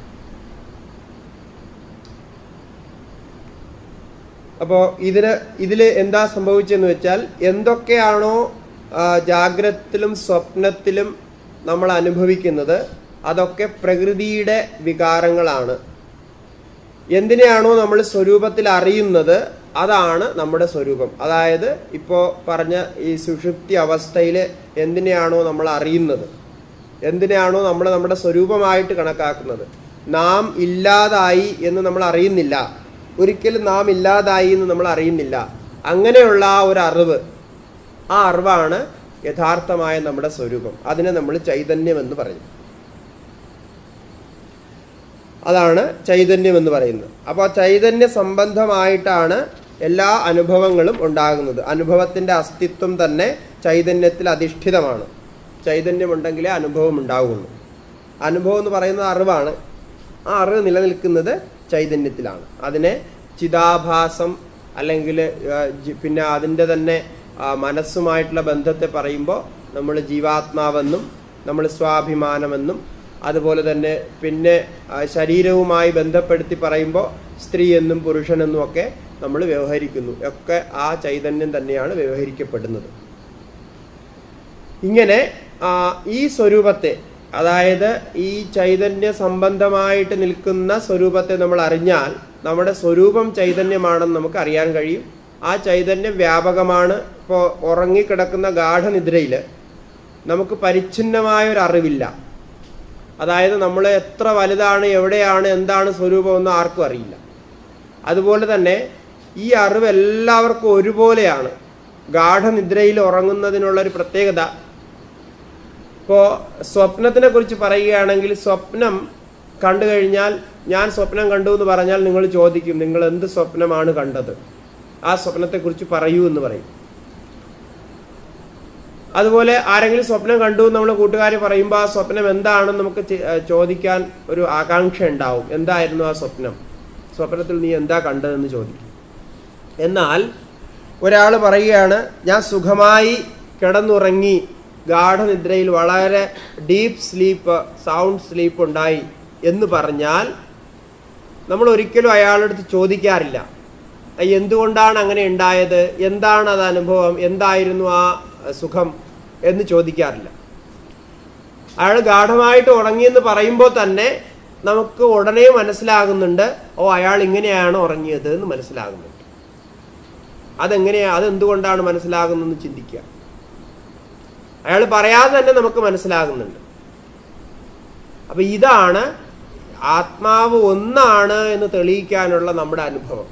ഇതിൽ നിന്ന് തെളിയുന്നത് ഇത് ഒന്നാണെന്നാണ്. എങ്ങനെയാണെന്ന് ചോദിച്ചാൽ ഇപ്പോൾ ഒരു വസ്തു ഒരു ഒരു പദാർത്ഥം അല്ലെങ്കിൽ ഒരു മധുരമുള്ള ഒരു പദാർത്ഥം ഒരു ലഡു ആണെന്നോ മറ്റൊന്നോ വിചാരിക്കുക അല്ലെങ്കിൽ പായസം എന്ന് വിചാരിക്കുക. പായസം ഉണ്ടാക്കി ഒരു പാത്രത്തിൽ വെച്ചു എല്ലാവരും ചേർന്ന് അത് വിളമ്പി കഴിച്ചു. എല്ലാവർക്കും അത് കിട്ടി. എല്ലാവരും പറഞ്ഞു പായസം നന്നായിട്ടുണ്ടായി. അപ്പോൾ ഓരോരുത്തരും പായസത്തിന്റെ സ്വാദ് പറയുമ്പോൾ നമ്മളും അത് കഴിച്ചിട്ടുള്ളത് കൊണ്ട് നമുക്ക് വ്യക്തമായ ആ സ്വാദ് അറിയാം. പായസം നന്നായിട്ടുണ്ടായില്ലേ എന്ന് വെച്ചാൽ നന്നായി എന്ന് പറയുമ്പോൾ തന്നെ അതെങ്ങനെയാണ് നന്നായത് എന്നറിയാം കാരണം നമ്മളും അത് ഭക്ഷിച്ചു എന്നുള്ളത് കൊണ്ട്. നമുക്കും അനുഭവം ഉണ്ടായെന്നുള്ളത് കൊണ്ട് അത് എങ്ങനെയാണ് നന്നായതെന്ന് നമുക്കറിയാൻ കഴിയും. ഇനി നമ്മൾ അറിയാത്തൊരറിവിനെ കുറിച്ചാണ് ഒരാൾ പറയുന്നത്. നമ്മൾ കഴിക്കാത്ത ഒരു പായസത്തെ കുറിച്ചാണ് ഒരാൾ പറയുന്നതെങ്കിൽ ആ പായസം എങ്ങനെ ഉണ്ടായിരുന്നു എന്നുള്ളത് നമ്മൾ കൂടുതൽ ചോദിച്ചറിയാൻ ശ്രമിക്കും. പക്ഷെ നമ്മളും കഴിച്ച പായസത്തെ കുറിച്ചാണ് പറയുന്നതെങ്കിൽ നമ്മൾ രണ്ടാമത് ചോദിക്കില്ല. അതെന്താ അതിൽ നിന്ന് എന്താ തെളിയുന്നത്? അതിൽ നിന്ന് എന്താ എന്ത് യുക്തിയാണ് അതിൽ നിന്ന് തെളിയുന്നതെന്ന് ചോദിച്ചാൽ നമുക്ക് ഒരുപോലെ ഉണ്ടാകുന്ന അനുഭവം പരസ്പരം പറഞ്ഞറിയിക്കാതെ തന്നെ നമുക്ക് അറിയാൻ കഴിയുന്നുണ്ട്. അതിനെക്കുറിച്ച് നമുക്ക് ചോദിക്കാൻ ചോദിക്കേണ്ടി വരുന്നില്ല. ഒരുപോലെ ഉണ്ടായ അനുഭവത്തിൽ. ഒരുപോലെ ഉണ്ടായ അനുഭവത്തിന് വ്യാഖ്യാനത്തിന്റെ ആവശ്യമില്ല. അതുപോലെയാണ് സുഷുപ്തി അവസ്ഥയിലും സംഭവിക്കുന്നത് സുഷുപ്തി അവസ്ഥയിൽ കുറിച്ച് പറഞ്ഞത് ഈ പായസം നമ്മൾ കഴിച്ചതുപോലെയാണ്. ഉറങ്ങി എഴിച്ചു വരുമ്പോൾ സുഖമായി ഉറങ്ങിയെന്ന് പറയുമ്പോൾ ആ സുഖമായി ഉറങ്ങിയത് എങ്ങനെ എന്ന് നമ്മൾ ചോദിക്കുന്നില്ല. കാരണം സുഖമായി ഉറങ്ങിയെന്ന് പറയുമ്പോൾ നമുക്ക് നമ്മൾ സുഖമായി ഉറങ്ങിയിട്ടുള്ളത് കൊണ്ട് നമുക്കറിയാം സുഖമായ ഉറക്കത്തിൽ ഈ അനുഭവം തന്നെ ഉണ്ടാകുന്നു. എങ്ങനെയാണ് നമ്മൾ തെളിയിക്കുന്നത്? തെളിയിക്കേണ്ട ആവശ്യമില്ല.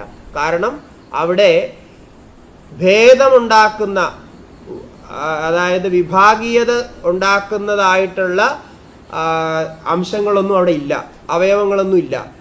ഇപ്പൊ ശരീരം വിഭാഗം ഉണ്ടാക്കിയിരുന്നു. ഓരോരുത്തരും വേറെ വേറെ ശരീരങ്ങളാണ് വേറെ വേറെ ആയിരുന്നപ്പോൾ അവിടെ വിഭാഗീയത ഉണ്ടായിരുന്നു. മനസ്സിന് വിഭാഗീയത ഉണ്ടായിരുന്നു. പക്ഷെ ശരീരവും മനസ്സും ബുദ്ധിയും അഹങ്കാരവും ഒക്കെ കടന്നു പോയപ്പോൾ അവിടെ വിഭാഗീയതയില്ല വിഭാഗീയത ഇല്ലാത്തത് കൊണ്ടാണ് നമ്മൾ അവിടെ ചോദിക്കാത്തത് നിങ്ങൾക്കുണ്ടായ അനുഭവം എന്റെ അനുഭവമായിട്ടുള്ള വ്യത്യാസം ഇല്ലാത്തത് കൊണ്ട് അവിടെ ചോദ്യമില്ല. അപ്പോൾ ഒരേ അനുഭവം ഉണ്ടാകുന്നു എന്നുള്ളത് തെളിയിക്കുന്നത് എന്തെന്ന് ചോദിച്ചാൽ ആ അവസ്ഥയിലെ ഈ വിഭാഗീയമായിട്ടുള്ള ശരീരാദി അവയവങ്ങളെയൊക്കെ നമ്മൾ മാറ്റി നിർത്തി ചിന്തിച്ചാൽ ആ ആ ചൈതന്യം ആ അനുഭവം ഒന്നാണ് ഒന്നായിട്ട് തന്നെ അവിടെ അനുഭവിക്കുന്നു. അത് ശരീരത്തിൽ ഈ ശരീരത്തിൽ മനുഷ്യ ശരീരത്തിൽ മാത്രമല്ല ശാസ്ത്രത്തിൽ പറയുന്നത് എല്ലാ ശരീരത്തിലും ബാക്കി മറ്റു ജീവികളൊക്കെ ഏതൊക്കെ ജീവികൾ ഉറങ്ങുന്നുണ്ടോ ആ ഉറങ്ങുന്ന എല്ലാ ജീവികൾക്കും അനുഭവം ഒരുപോലെ ആയിരിക്കും. നമ്മുടെ തന്നെ അനുഭവം തന്നെയാണ് അവർക്കും ഉണ്ടാകുന്നതെന്നാണ്. അപ്പോൾ അതാണ് നമ്മുടെ യഥാർത്ഥ സ്വരൂപം. യഥാർത്ഥ സ്വരൂപത്തിനെ കുറിച്ച് നമ്മൾ ചോദിക്കാറില്ല. യഥാർത്ഥ സ്വരൂപം ഏതാണോ അതിൽ ക്വസ്റ്റ്യൻ ഇല്ല. അതിനെക്കുറിച്ച് എന്തുകൊണ്ട് അങ്ങനെയെന്ന് നമ്മൾ ചോദിക്കാറില്ല. ഇപ്പോൾ ഒരാൾക്ക് അസുഖം വന്നിരിക്കുകയാണെങ്കിൽ നമ്മൾ ചോദിക്കും നിങ്ങൾക്ക് എന്തുകൊണ്ടാണ് അസുഖം ഉണ്ടായിരിക്കുന്നത്? വയ്യാത്തത് എന്തുകൊണ്ട് എന്ന് ചോദിക്കും. പക്ഷെ ഒരാൾ സുഖമായിരിക്കുകയാണെങ്കിൽ സ്വാസ്ഥ്യം സ്വസ്ഥനായിരിക്കുകയാണെങ്കിൽ അസുഖമൊന്നും ഇല്ലാതിരിക്കുകയെന്ന് അയാളോട് ചോദിക്കാറില്ല. നിങ്ങൾ എന്തുകൊണ്ടാണ് സ്വസ്ഥനായിരിക്കുന്നത്? ആരും ചോദിക്കാറില്ല. അതിന്റെ അർത്ഥം എന്താണ്? ഈ സ്വസ്ഥനായിരിക്കുക അസുഖമില്ലാതിരിക്കുക ഒരു പ്രശ്നങ്ങളും ഇല്ലാതിരിക്കുക എന്നുള്ളത് അതിന്റെ സ്വരൂപമാണ്. സ്വരൂപത്തിലിരിക്കുമ്പോൾ പിന്നെ അവിടെ ചോദിക്കേണ്ട കാര്യമില്ല. അസുഖം ഉണ്ടാകുക എന്നുള്ളത് യഥാർത്ഥ സ്വരൂപത്തിൽ നിന്ന് മാറുന്നതാണ്. സുഖമാണ് നമ്മുടെ യഥാർത്ഥ സ്വരൂപം എന്നുകൂടി അവിടെ തെളിയുകയാണ്. അപ്പോൾ ഇവിടെ ചൈതന്യത്തെ എങ്ങനെ അറിയണം എന്ന് ചോദിച്ചാൽ അറിയേണ്ട ഒരു വിധമാണ് ഞാനിവിടെ പറഞ്ഞത്. നമ്മുടെ തന്നെ അവസ്ഥാത്രയത്തെ ഈ പറഞ്ഞ ജാഗ്രത് എന്ന് പറയുന്ന ഉണർന്നിരിക്കുന്ന അവസ്ഥ സ്വപ്നാവസ്ഥ ഉറങ്ങിക്കിടക്കുന്ന അവസ്ഥ. ഈ മൂന്ന് അവസ്ഥകൾ നമുക്കുണ്ട്.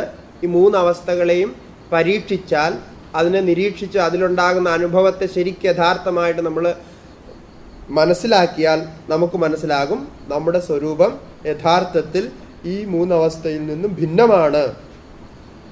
ഇതിൽ വ്യാപകമായി നിൽക്കുന്നതാണ് എന്ന് മനസ്സിലാകും. അതുപോലെ തന്നെ കുട്ടിക്കാലത്തൊട്ട് നമ്മുടെ വളർച്ചയെ നമ്മൾ നോക്കിയാലും നമുക്ക് ഒരുപാട് കാര്യങ്ങൾ പഠിക്കാൻ പറ്റും. കുട്ടിക്കാലത്തുണ്ടായിരുന്ന ശരീരമല്ല പിന്നീട് ഉണ്ടായത് ആ ശരീരത്തിലുള്ള വികാരങ്ങളല്ല പിന്നെ യുവാവസ്ഥയിൽ ഉണ്ടായത് യുവാവസ്ഥയിലുള്ള ശരീരത്തിലുള്ള വികാരങ്ങളും പ്രശ്നങ്ങളുമല്ല വയസ്സാകുമ്പോഴുണ്ടാകുക വയസ്സാകുമ്പോൾ ശരീരം മാറും. ഈ ശരീരമൊക്കെ ഇങ്ങനെ മാറിപ്പോകുന്നു എങ്കിലും നമ്മൾ നമ്മൾ തന്നെയാണ് മാറുന്നത് എന്ന് വിചാരിക്കുകയാണ്. അതായത് ആ കുട്ടിക്കാലത്തുണ്ടായിരുന്ന ഞാൻ തന്നെയാണ് യുവാവസ്ഥയിൽ ഉണ്ടായിരിക്കുന്നത് ഉണ്ടായിരുന്നത് ഇപ്പോൾ വയസ്സായിരിക്കുമ്പോഴും ഞാൻ തന്നെയാണ് എന്ന ഒരേ ഭാവത്തിൽ ഞാൻ എന്ന ഭാവത്തെ ഒരേപോലെ അറിയുന്നു. അപ്പോൾ ഇതും തെളിവാണ് നമ്മുടെ സ്വരൂപം ഒന്നായി നിൽക്കുന്നു എന്നുള്ളത്. ഇതൊക്കെ സാഖ്യത്തിന്റെ സിദ്ധാന്തമാണ്. ചൈതന്യത്തെക്കുറിച്ച് സാഖ്യം പഠിപ്പിക്കുന്നത് ഇങ്ങനെയാണ്. ഇതേ സിദ്ധാന്തം തന്നെ വേദാന്തത്തിലും യോഗശാസ്ത്രത്തിലുമൊക്കെ എടുത്തിട്ടുണ്ട്. ഇത് നമ്മുടെ തന്നെ അനുഭവത്തെയാണ്. കാരണം ഇവിടെ പറയുന്ന ഈ ദർശനശാസ്ത്രമായിട്ട് നമ്മൾ ചിന്തിക്കുമ്പോൾ ഇത് വളരെ റിയലിസ്റ്റിക് ആയിട്ടുള്ള ഫിലോസഫിയാണ് എന്ന് വെച്ച് കഴിഞ്ഞാൽ എന്താണോ നമ്മുടെ അനുഭവം എന്താണോ നമ്മൾ കണ്ടറിയുന്നതും കേട്ടറിയുന്നതും അതിനെയാണ് വിചാരം ചെയ്യുന്നത്. ഇവിടെ കൽപ്പിച്ച് ചിന്തിക്കുക എന്നുള്ള വ്യവസ്ഥയില്ല. അതായത് ഇങ്ങനെ സങ്കല്പിക്കുക അങ്ങനെ ഒന്നും ഉണ്ടാവും എന്ന് വിചാരിക്കുക അങ്ങനെയല്ല. ഞാൻ അത് ആദ്യം തന്നെ പറഞ്ഞു. ഇത് റിയലിസ്റ്റിക് ആയിട്ടുള്ള ചിന്താഗതിയാണ്. അപ്പോൾ ഇങ്ങനെയാണ് നമ്മുടെ അനുഭവം ഉള്ളത് ആ അനുഭവത്തെ നമുക്ക് തിരിച്ചറിയാൻ കഴിഞ്ഞാൽ നമ്മുടെ കുറേ പ്രശ്നങ്ങൾ ജീവിതത്തിലെ ഒരുപാട് പ്രശ്നങ്ങൾ ഇല്ലാതാകും അപ്പം മനസ്സിന്റെ തലത്തിൽ എന്തൊക്കെയാ പ്രശ്നങ്ങൾ ഉണ്ടാകുന്നതെന്ന് നമ്മൾ ചിന്തിച്ചാൽ അത് നമുക്ക് വ്യക്തമാവും. അതുപോലെ ശരീരത്തിന്റെ തലത്തിലുള്ള പ്രശ്നങ്ങൾ എന്താണെന്ന് ചിന്തിച്ചാൽ അതും നമുക്ക് വ്യക്തമാകും. ശരീരത്തിലെ പ്രശ്നങ്ങൾ ശരീരത്തിന് നമുക്ക് ഒഴിവാക്കാൻ പറ്റില്ല. മനസ്സിനെ നമുക്ക് ഒഴിവാക്കാൻ പറ്റില്ല. അപ്പം ശരീരത്തിലും മനസ്സിലും ഉണ്ടാകുന്ന വിചാര വികാരങ്ങളൊക്കെ അവിടെ തന്നെ നിൽക്കും. അത്രയും അതിലുള്ളതാണ്. ഇപ്പം ശരീരം പ്രായമാകണ്ട വയസ്സാകണ്ട എന്ന് വിചാരിച്ചാൽ അത് നടക്കില്ല. ശരീരം വയസ്സായിക്കൊണ്ടേയിരിക്കും. അത് അതിന്റെ സ്വഭാവമാണ്. അപ്പോൾ അതിനെ അങ്ങനെ അങ്ങ് വിടുക. വയസ്സാകുമ്പോൾ ഇന്ന ഇന്ന പ്രശ്നങ്ങൾ ഉണ്ടാകും. ഇപ്പോൾ ചെറുപ്പത്തിൽ ചെയ്തതുപോലുള്ള കാര്യങ്ങൾ വയസ്സാകുമ്പോൾ ചെയ്യാൻ പറ്റില്ല. കുട്ടിക്കാലത്ത് നമ്മൾ ചെയ്ത കാര്യങ്ങൾ ഇപ്പോൾ നമുക്ക് ചെയ്യാൻ കഴിയില്ല. കുട്ടിക്കാലത്ത് അതൊക്കെ ആസ്വദിച്ചിരുന്നു അതൊക്കെ ചെയ്തിരുന്നു. അതൊന്നും ഇപ്പോൾ ചെയ്യാൻ കഴിയില്ല. കാരണം ആ മനസ്സും ശരീരവും മാറി. ഇപ്പോൾ വേറൊരവസ്ഥയിലാണ് എത്തിയത്. അപ്പോൾ ഇതിന്റെ സ്വഭാവത്തെ അങ്ങനെ തന്നെ അംഗീകരിച്ചാൽ നമ്മുടെ ഒരുപാട് പ്രശ്നങ്ങൾ സോൾവ് ആവും എന്നുള്ളതാണ്. അപ്പോൾ ഈ രീതിയിൽ സത്കാര്യത്തെക്കുറിച്ച് നമ്മൾ ചർച്ച ചെയ്തു ആത്മാവിന്റെ സ്വരൂപത്തെക്കുറിച്ച് ചർച്ച ചെയ്തു അതുപോലെ പ്രകൃതിയുടെ വികാരങ്ങൾ ഇതൊക്കെയാണ് സംഖ്യത്തിന്റെ ഒരു മുഖ്യമായ സിദ്ധാന്തം. ഇനി ഇതിൽ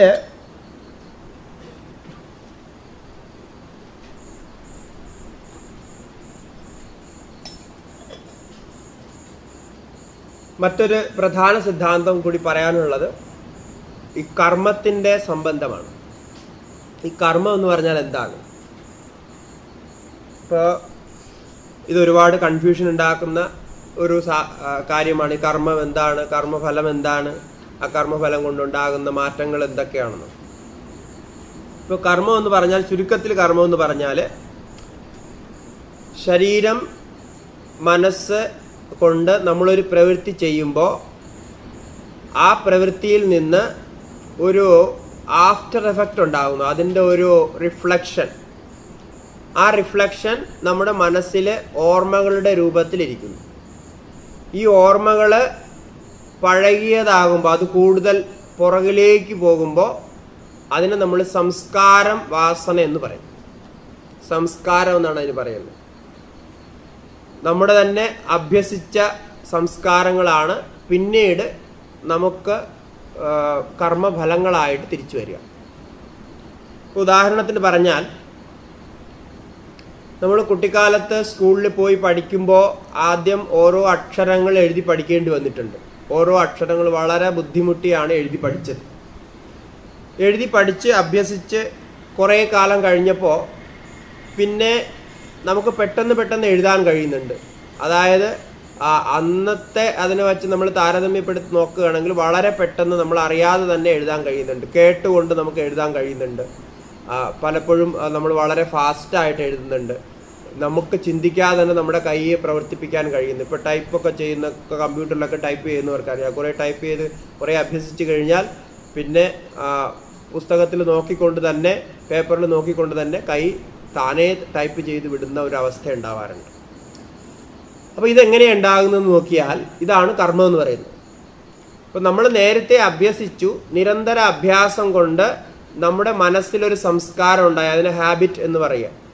ഹാബിറ്റ് ആയി മാറിയത്. ഹാബിറ്റായി മാറിക്കഴിയുമ്പോൾ ഈ ഹാബിറ്റായി മാറിയത് സബ് കോൺഷ്യസ് മൈൻഡിലേക്ക് പോകും അബോധ മനസ്സിലേക്ക് പോകും. അബോധ മനസ്സിലേക്ക് പോയാൽ അത് നമുക്ക് അറിയാൻ കഴിയില്ല. അത് എങ്ങനെയാണ് അവിടെ നിൽക്കുന്നത് എങ്ങനെയാണ് പ്രവർത്തിക്കുന്നതെന്ന് അറിയാൻ കഴിയില്ല. പക്ഷെ അവിടെ ഉണ്ടാവും അത്. ആവശ്യം വരുന്ന സമയത്ത് അത് അബോധ മനസ്സിൽ നിന്ന് നേരിട്ട് പ്രവർത്തിക്കും. ആ അബോധ മനസ്സ് എപ്പോഴും നമ്മോടൊപ്പം ഉണ്ടായിരിക്കും. അത് ഉണർന്നിരിക്കുന്ന അവസ്ഥയിലും ഉറങ്ങുന്ന അവസ്ഥയിലും എപ്പോഴും നമ്മുടെ ഉണ്ടായിരിക്കും. ഈ അബോധ മനസ്സാണ് നമ്മൾ കിടക്കുന്ന ഉറങ്ങിക്കിടക്കുന്ന സമയത്ത് നമ്മുടെ ശരീരത്തെ സംരക്ഷിക്കുന്നത്. കാരണം ശരീരത്തെ സംരക്ഷിക്കുക എന്ന് പറയുമ്പോൾ അതിൽ പ്രാണൻ സഞ്ചരിക്കുന്നുണ്ട് ദഹനക്രിയ നടക്കുന്നുണ്ട് അതുപോലെ ബ്ലഡ് സർക്കുലേഷൻ നടക്കുന്നുണ്ട് പിന്നെ ബ്ലഡിന്റെ ശുദ്ധീകരണം കിഡ്നിയിലൂടെ മറ്റും ശുദ്ധീകരണം നടക്കുന്നുണ്ട്. ഇങ്ങനെ ഒരുപാട് പ്രവർത്തനങ്ങൾ നമ്മൾ അറിയാതെ നമ്മൾ ഉറങ്ങിക്കിടക്കുന്ന സമയത്ത് നടക്കുന്നുണ്ട്. അപ്പോൾ ഇതൊക്കെ ചെയ്യുന്നത് സബ് കോൺഷ്യസ് മൈൻഡാണ് അതിനെയാണ് നമ്മൾ അബോധ മനസ്സെന്ന് പറയുന്നത്. അർദ്ധബോധ മനസ്സ് അബോധ മനസ്സെന്നൊക്കെ പറയാം. അപ്പോൾ ആ മനസ്സിൽ ഈ പറയുന്ന സംസ്കാരങ്ങൾ എന്ന രൂപത്തിൽ എത്തിച്ചേരും. എത്തിച്ചേർന്ന് കഴിഞ്ഞാൽ ഇപ്പോൾ കുട്ടിക്കാലത്ത് നമ്മൾ എന്തൊക്കെയാണ് കേട്ട് പഠിച്ചത് അതൊക്കെ സംസ്കാരങ്ങളായിട്ട് ഉള്ളിലിരിക്കും. കുട്ടിക്കാലത്ത് നമുക്കുണ്ടായിരുന്ന ആഗ്രഹങ്ങൾ നമ്മൾ പലതും ആഗ്രഹിച്ചിരുന്നു പലതും പ്രാപിക്കണമെന്ന് ആഗ്രഹിച്ചു. അതൊക്കെ ഇങ്ങനെ പലവട്ടം ചിന്തിച്ചു കഴിയുമ്പോൾ അതൊക്കെ ഇങ്ങനെ കർമ്മമായിട്ട് പോകും ഉള്ളിലേക്ക് പോകും. പിന്നെ നമ്മൾ പ്രവർത്തിക്കുന്നത് അതുപോലെ ആയിരിക്കും. അത് പ്രാപിക്കാൻ വേണ്ടിയായിരിക്കും പ്രവർത്തിക്കുക. നമ്മൾ അറിയാതെ തന്നെ അതിനു വേണ്ടി പ്രവർത്തിക്കും. ഇപ്പോൾ കുട്ടിക്കാലത്ത് ദുഃഖങ്ങളുണ്ടായവരുണ്ട്. കുട്ടിക്കാലത്ത് വളരെ പിന്നെ മാതാപിതാക്കളിൽ നിന്നോ അല്ലെങ്കിൽ മറ്റുള്ള രീതിയിലുള്ള ഒക്കെ ദുഃഖങ്ങൾ ഉണ്ടായാൽ അങ്ങനെ പീഡനങ്ങൾ ഉണ്ടായാൽ ആ പീഡനവും കുട്ടിയുടെ മനസ്സിൽ വളരെ അഗാധമായിട്ട് കിടക്കും. അതൊക്കെ പിന്നീട് പ്രവർത്തിക്കാൻ അതിനൊക്കെ വിരുദ്ധമായിട്ട് പ്രവർത്തിക്കാനൊക്കെ കുട്ടി ശ്രമിക്കും. ഇപ്പോൾ അതിനെക്കുറിച്ച് ഒരുപാട് സ്റ്റഡികളൊക്കെ നടക്കുന്നുണ്ട്.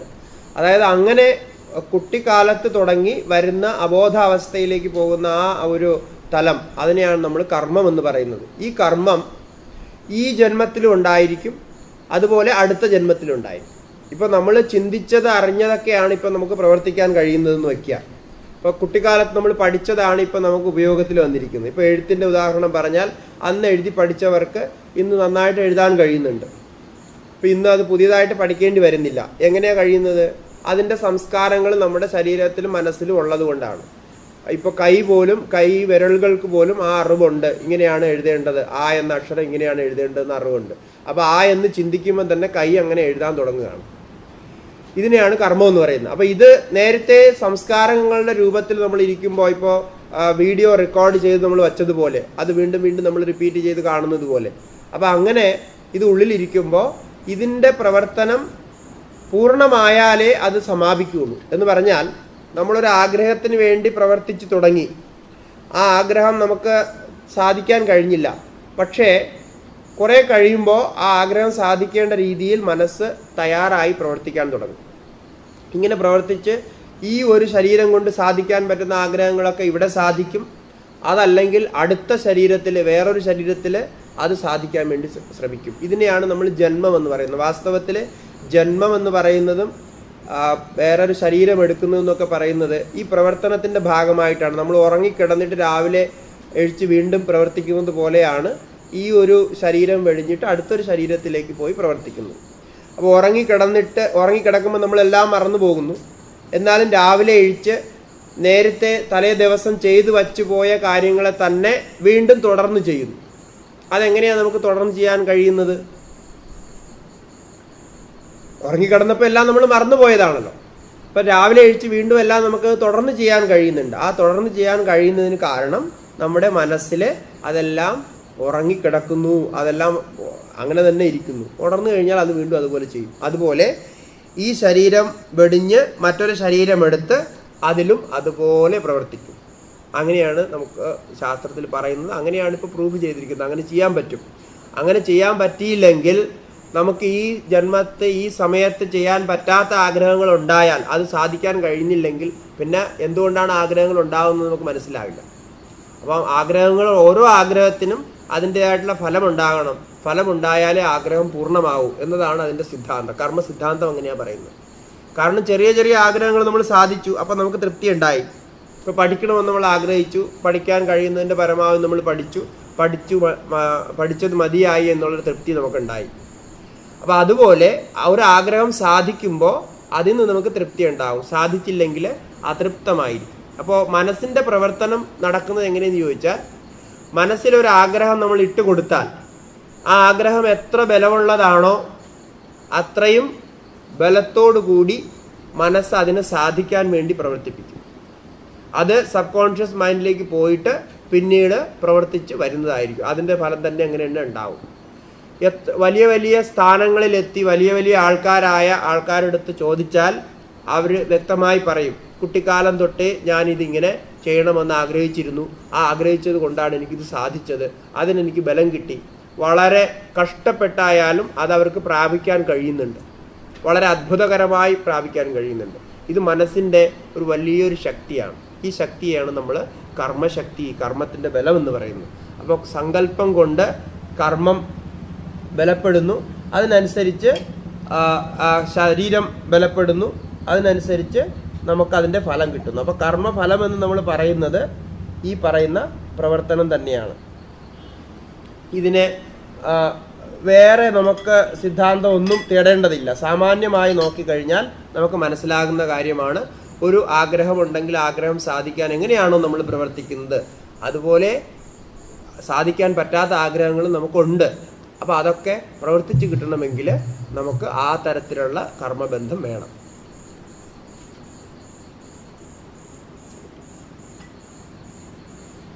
ഈ കർമ്മങ്ങളെ സാധിപ്പിക്കാൻ നമ്മെ അവിടെ എത്തിക്കുന്നത് നേരത്തെ പറഞ്ഞതുപോലെ മനസ്സാണ്. മനസ്സിനെ ആ മനസ്സിന്റെ ആ തലത്തെയാണ് സാഖ്യശാസ്ത്രം ലിംഗശരീരം എന്ന് പറയുന്നു.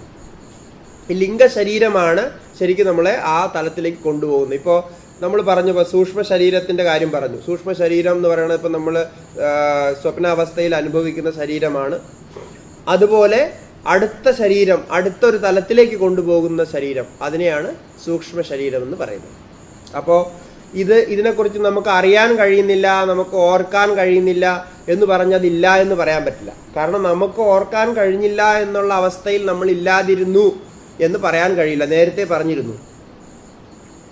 സൂക്ഷ്മമാണെങ്കിൽ നമുക്കതിനെ അറിയാൻ കഴിയില്ല എന്ന് പറഞ്ഞു ഇപ്പോൾ പലരും ഇപ്പോൾ ഈ ഇങ്ങനെ ഒരു കാര്യത്തെക്കുറിച്ച് പറയുമ്പോൾ പലരും ചോദിക്കുന്നത് നമുക്ക് അങ്ങനെ ഉണ്ടായിട്ടുണ്ടാകുമെങ്കിൽ നമുക്കതിനെക്കുറിച്ച് എന്തുകൊണ്ടാണ് ഓർമ്മയില്ലാത്തത്? നമുക്ക് നമുക്ക് അതിനെക്കുറിച്ച് ഓർമ്മയുണ്ടാവണമായിരുന്നു. നമ്മൾ വേറെ എവിടെയെങ്കിലും ഉണ്ടായിരുന്നു. ഇപ്പോൾ ഒരുപാട് പുസ്തകങ്ങൾ അതിനെക്കുറിച്ച് ഇറങ്ങിയിട്ടുണ്ട്. പലരും പറ അതിനെക്കുറിച്ച് പൂർവ അപര സംബന്ധമായിട്ട് ഓർത്ത് അത് ശരിക്കും അത് പറഞ്ഞ് ആ സ്ഥലത്ത് പോയി കണ്ട് എന്തൊക്കെയാണ് സംഭവിച്ചതെന്നൊക്കെ നേരിട്ട് അറിഞ്ഞതായിട്ടൊക്കെയുള്ള ഒരുപാട് കഥകളുണ്ട്. കഥകളൊക്കെ അങ്ങനെയുണ്ട് എന്നുള്ളത് വാസ്തവമാണ്. ഒരുപാട് റിസർച്ച് അതിനെക്കുറിച്ച് നടക്കുന്നുണ്ട്. അപ്പോൾ ഈ ശരീര സംബന്ധമല്ലാത്ത ഒരു തലം കൂടി നമുക്കുണ്ട് എന്നുള്ളത് വാസ്തവമാണ്. അപ്പോൾ ഭഗവാനെ ഈശ്വരനെ നമ്മൾ ചിന്തിക്കുമ്പോഴും ഈശ്വരന്റെ അടുത്തേക്ക് നമ്മൾ പോകുമെന്നും ഈശ്വരന്റെ ലോകത്തിലേക്ക് നമ്മൾ പോകുമെന്നും പറയുന്നതും ഈ ഒരു കൺസെപ്റ്റിലൂടെയാണ് വ്യക്തമായ രീതിയിൽ നമ്മൾ പൂർവജന്മം ഈ ജന്മം എന്നൊക്കെ പറഞ്ഞ് നമ്മൾ ചിന്തിക്കുമ്പോൾ നമുക്ക് ഇപ്പോഴുള്ളൊരു പ്രശ്നം.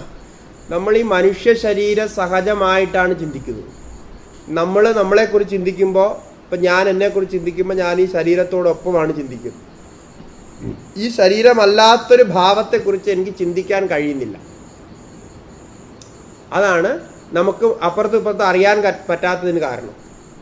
ഈ ശരീരത്തിൽ നമ്മൾ ബന്ധിച്ചിരിക്കുകയാണ്. കാരണം ഈ ശരീരമാണ് ഞാനെന്ന് അറിയുമ്പോൾ ഈ ശരീരം അല്ലാത്തൊരവസ്ഥയെക്കുറിച്ച് എനിക്ക് ചിന്തിക്കാനേ പറ്റുന്നില്ല. ആ അല്ലാത്ത അവസ്ഥയിൽ ഞാൻ എന്താണെന്ന് നമ്മൾ അറിയുന്നില്ല.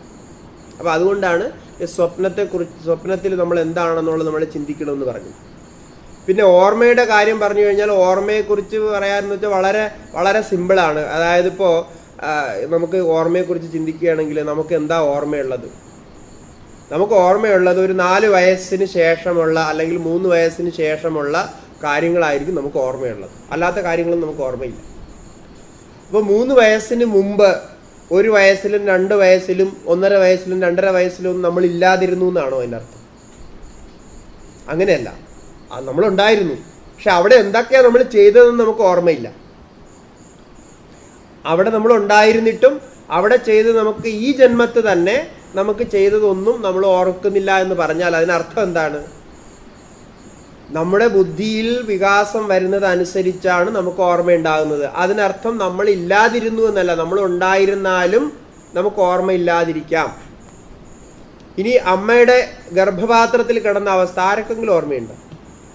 ഗർഭപാത്രത്തിൽ നമ്മളെല്ലാവരും ഉണ്ടായിരുന്നു എന്നുള്ളത് ഉറപ്പാണ്. അതിന് യാതൊരു സംശയമില്ല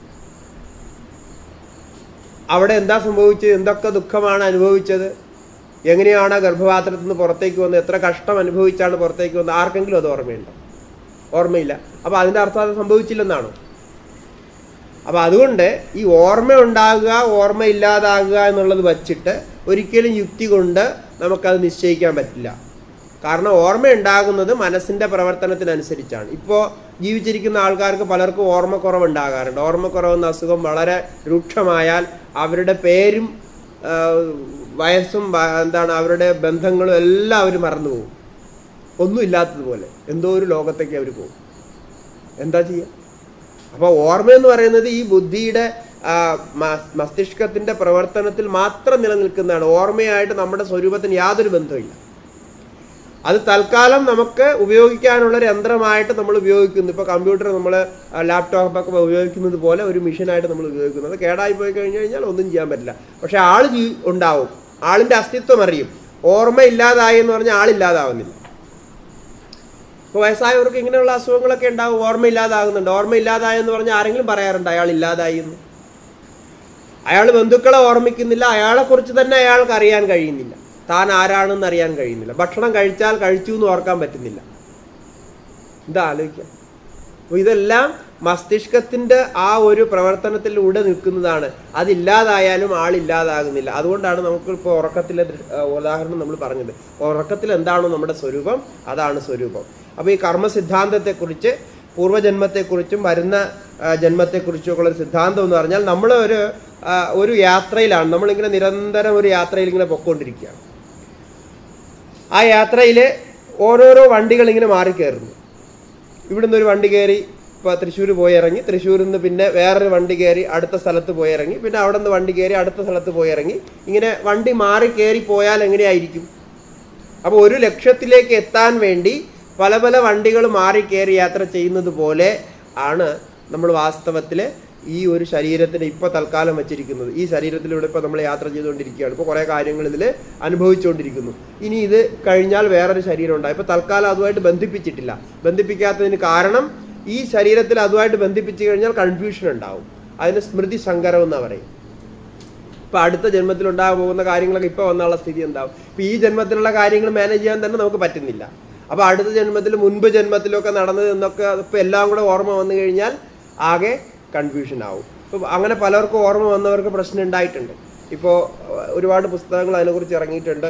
അപ്പോൾ അവർ പൂർവജന്മത്തെ അവരുടെ സ്ഥലത്ത് പോയി അവിടെ പോയി സംസാരിച്ചു അവരുമായിട്ട് കണ്ടു പരിചയപ്പോൾ അവിടെ എങ്ങനെ ഒരാളുണ്ടായിരുന്നു ഇങ്ങനെ ഉണ്ടായിരുന്നു ഒക്കെയുള്ള കഥയെല്ലാം ശരിയായി ശരിയായി അറിഞ്ഞപ്പോൾ അവർക്കും കൺഫ്യൂഷനായി ഇവർക്കും കൺഫ്യൂഷനായി ഇപ്പോൾ ഇവർക്ക് അവരുമായിട്ടാണോ ബന്ധം അവർക്ക് ഇവരുമായിട്ടാണോ ബന്ധം ഒന്നും തീരുമാനിക്കാൻ പറ്റാത്തൊരവസ്ഥയായി. അങ്ങനെയൊക്കെ ആയി മാറും. അപ്പോൾ ആ ഓർമ്മകളും കൂടെ വന്നു കഴിഞ്ഞാൽ വലിയൊരു ബുദ്ധിമുട്ടായി മാറും. അതുകൊണ്ട് ഭഗവാൻ ഒരു കട്ട് ഓഫ് സിസ്റ്റം വച്ചിരിക്കുകയാണ്. ഈ കട്ട് ഓഫ് സിസ്റ്റം എന്ന് പറഞ്ഞാൽ ഇപ്പം നമ്മൾ നേരത്തെ പറഞ്ഞതുപോലെ ഇപ്പോൾ ഗർഭപാത്രത്തിൽ നിന്ന് നമ്മൾ പുറത്തു വന്നതിനെ കുറിച്ച് നമുക്ക് ഓർമ്മയില്ല. കാരണം എന്താണ്? അത് ഏറ്റവും ബുദ്ധിമുട്ടുള്ള ഏറ്റവും നമ്മൾ പീഡനം അനുഭവിച്ചിട്ടുള്ള ഒരു അവസ്ഥയാണത്. അച്ഛ അമ്മയും അതുപോലെ കുട്ടിയും പീഡനം അനുഭവിക്കുന്ന അവസ്ഥയാണ് അത് എല്ലാവർക്കും അറിയാമെന്നുള്ള കാര്യമാണ്. പക്ഷേ അത് ഒരു കട്ട് ഓഫ് സിസ്റ്റത്തിൽ അങ്ങ് പോവുകയാണ്. അത് ആ അങ്ങനെ ഒരു ഓർമ്മയെ നമുക്ക് ഉണ്ടാവില്ല. അതുപോലെ മുമ്പുണ്ടായിരുന്ന ഓർമ്മയും നഷ്ടപ്പെടുന്നു. ഈ ഓർമ്മ എന്ന് പറയുന്നത് മസ്തിഷ്കത്തിന്റെ പ്രവർത്തനമാണ്. മസ്തിഷ്കം എന്ന് പറയുന്നത് ഈ ശരീരത്തിലുള്ളതാണ്. ശരീരത്തിലുള്ള ബ്രെയിനിനെയാണ് നമ്മൾ മസ്തിഷ്കം എന്ന് പറയുന്നത്. അതിലൂടെയാണ് ഓർമ്മ പ്രവർത്തിക്കുന്നത്. മസ്തിഷ്കം കേടായാൽ ഓർമ്മ ഇല്ലാണ്ടാവും. പക്ഷേ വ്യക്തി ഇല്ലാണ്ടാകും. നമ്മുടെ വിഷയം മുഴുവൻ അവിടെയാണ്. വ്യക്തി ഒരിക്കലും ഇല്ലാണ്ടാകുന്നില്ല. അത് ഒരവസ്ഥയിൽ നിന്ന് വേറൊരവസ്ഥയിലേക്ക് പൊക്കോണ്ടിരിക്കുന്നു. എങ്ങനെയാണോ ബാല്യാവസ്ഥയിൽ നിന്ന് ഇവിടേക്ക് വന്നത് അതുപോലെ പൊക്കോണ്ടിരിക്കുന്നു. എന്നതാണ് സാങ്കേത്തിന്റെ ഒരു സിദ്ധാന്തം. സാങ്കേത്തിന്റെ തന്നെ സാധനാപരമായിട്ടുള്ള കാര്യങ്ങളാണ് നമ്മൾ അടുത്ത യോഗശാസ്ത്രത്തിൽ കുറിച്ച് ചർച്ച ചെയ്യുമ്പോൾ വിസ്തരിക്കാൻ പോകുന്നത്. യോഗശാസ്ത്രത്തിൽ അതിന്റെ സാധനപരമായ കാര്യങ്ങൾ പറയും. സാങ്കേത്തിനും സാങ്കേത്തിന്റെതായിട്ടുള്ള ചില സാധനങ്ങളുണ്ട്. അതിപ്പോൾ സാധാരണ നമ്മളിപ്പോൾ പ്രാക്ടീസ് ചെയ്യാത്ത കുറേ സാധനങ്ങളാണ്. അപ്പോൾ അതിൽ ഈ വിവേകം ഉണ്ടാകുക ആത്മാനാത്മ വിവേകം അല്ലെങ്കിൽ പ്രകൃതിയും പ്രകൃതിയുടെ കാര്യങ്ങൾ പ്രകൃതിയുടെ വികാരങ്ങൾ അതുപോലെ ചൈതന്യം ചൈതന്യത്തിന്റെ സ്വരൂപം. ഇതിനെ രണ്ടിനെയും തിരിച്ചറിയുന്നതിന് വിവേകം എന്ന് പറയും. തിരിച്ചറിവ് എന്നർത്ഥം. വിവേകം എന്ന് പറഞ്ഞാൽ തിരിച്ചറിവ്. ഇപ്പൊ ഇപ്പോൾ ഇപ്പൊ പറഞ്ഞതുപോലെ ശരീരം എന്തൊക്കെയാണ് എന്ന് തിരിച്ചറിയുക. ശരീരം എന്താണ് എന്ന് തിരിച്ചറിഞ്ഞാൽ ശരീരത്തിന്റെ ദോഷങ്ങൾ ശരീരത്തിലുള്ളതാണെന്ന് നമ്മൾ കൽപ്പിച്ച് നമ്മൾ അതിൽ നിന്ന് ഭിന്നമാണെന്ന് നമ്മൾ തിരിച്ചറിഞ്ഞു മാറ്റി വയ്ക്കാൻ പറ്റും. അപ്പോൾ തൽക്കാലം ശരീരത്തിന് പ്രശ്നമുണ്ട് അത് സോൾവ് ചെയ്യാൻ കഴിയുമെങ്കിൽ സോൾവ് ചെയ്യുക. അല്ലെങ്കിൽ അത് സോൾവ് ചെയ്യാൻ കഴിയാത്തതാണ്. ഇപ്പോൾ ശരീരം പ്രായമായിക്കൊണ്ടിരിക്കുന്നു എന്നുള്ളത് നമുക്ക് സോൾവ് ചെയ്യാൻ കഴിയാത്തതാണ്. ഒരു പനി വന്നു കഴിഞ്ഞാൽ മരുന്ന് കഴിച്ച് അതിനെ സോൾവ് ആക്കാം. അത് പനി മാറി കിട്ടും. അല്ലെങ്കിൽ വേദന വന്നു കഴിഞ്ഞാൽ വേദന സംഹാരി കഴിച്ച് നമുക്ക് വേദന ഇല്ലാതാക്കാം.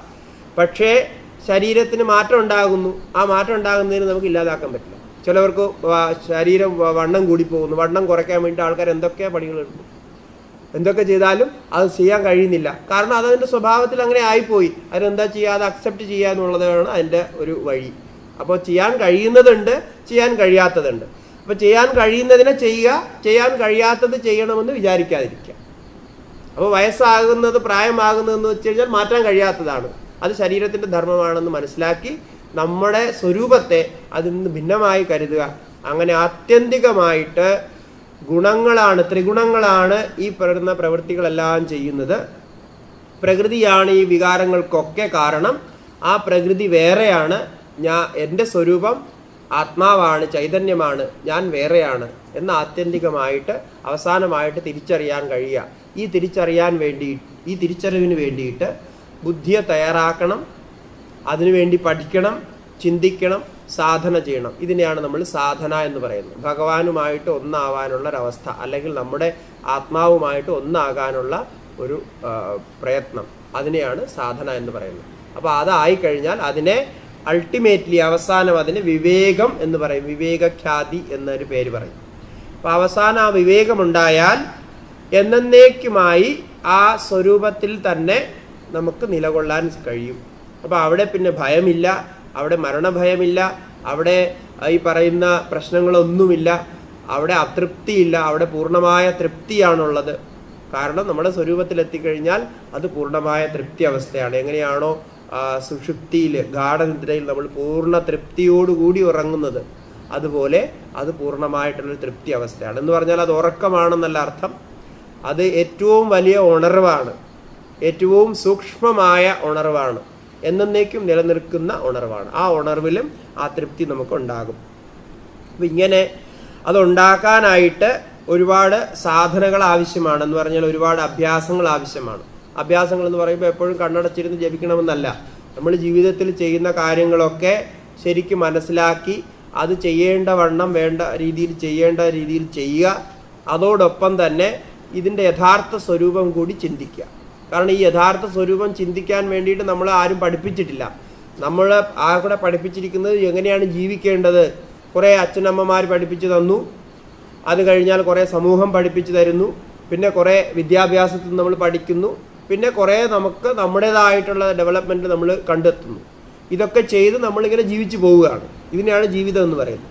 അതോടൊപ്പം തന്നെ ഈ ഒരു വിചാരം കൂടി ചേർക്കുക. അതായത് വാസ്തവത്തിൽ ഇതൊക്കെ ഞാനിപ്പോൾ ചെയ്യുന്നത് എന്റെ ഒരു കർത്തവ്യമായിട്ടാണ്. പക്ഷെ എന്റെ സ്വരൂപം ഞാൻ വാസ്തവത്തിൽ ഇതൊന്നും ഭിന്നമാണ് എന്നുകൂടി ചിന്തിക്കാൻ അറിയാം. ഇത് നമുക്ക് എവിടെയും പഠിപ്പിക്കാൻ പഠിക്കാൻ കിട്ടാത്തത് കൊണ്ട് നമുക്ക് ആധ്യാത്മിക ശാസ്ത്രങ്ങൾ ഇതേപോലുള്ള സത്സംഗങ്ങളിൽ നിന്ന് ഇത് പഠിക്കാൻ കിട്ടുകയുള്ളൂ. അങ്ങനെ ചിന്തിക്കാനുള്ള ഒരവസരമുള്ളൂ. അപ്പോൾ ആ അവസരത്തിൽ നമ്മളത് മനസ്സിലാക്കുക. അതാണ് ആത്യന്തികമായിട്ട് സാധനയായിട്ട് നമുക്ക് പറയാൻ കഴിയുന്നത്. അപ്പോൾ അതിന് ശരീരത്തെ വഴക്കിയെടുക്കേണ്ടതുള്ളത് കൊണ്ട് ആസന പ്രാണായാമങ്ങളൊക്കെ ചെയ്യണം. അതുപോലെ മനസ്സിനെ വഴക്കിയെടുക്കാൻ വേണ്ടിയിട്ട് ഏകാഗ്രതയും ധ്യാനവും ഒക്കെ അഭ്യസിക്കണം. അതുപോലെ നമ്മുടെ മനസ്സിലുള്ള ദോഷങ്ങൾ മാറ്റാനായിട്ട് മനസ്സിൽ എന്തൊക്കെയാണ് ദോഷങ്ങളുള്ളത് എന്ന് നമ്മൾ തിരിച്ചറിഞ്ഞിട്ട് ആ ദോഷങ്ങൾ മാറ്റാനുള്ള പ്രതിവിധികൾ നമ്മൾ ചെയ്യണം. അതൊക്കെ ഇപ്പോൾ സാധന കാലങ്ങളിൽ പഠിക്കുന്നതായിട്ട് നമുക്കറിയാം. അതിനെക്കുറിച്ച് നമ്മൾ നാളത്തെ വിഷയത്തിൽ കൂടുതൽ സംസാരിക്കും.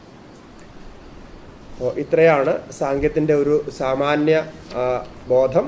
അപ്പോൾ ഇത് സംബന്ധമായിട്ട് കുറേ ടെക്നിക്കലായിട്ടുള്ള കാര്യങ്ങൾ ഇതിൽ വന്നിട്ടുണ്ട്. അപ്പോൾ അതൊക്കെ ഓർത്ത് വയ്ക്കാൻ ശ്രമിക്കുക. കാരണം നാളത്തെ വിഷയത്തിൽ ഇത് വീണ്ടും റിപ്പീറ്റ് ആവും. കാരണം ഇതിന്റെ ബേസിലാണ് യോഗശാസ്ത്രത്തെക്കുറിച്ച് നാളെ നമ്മൾ ചർച്ച ചെയ്യാൻ പോകുന്നത്.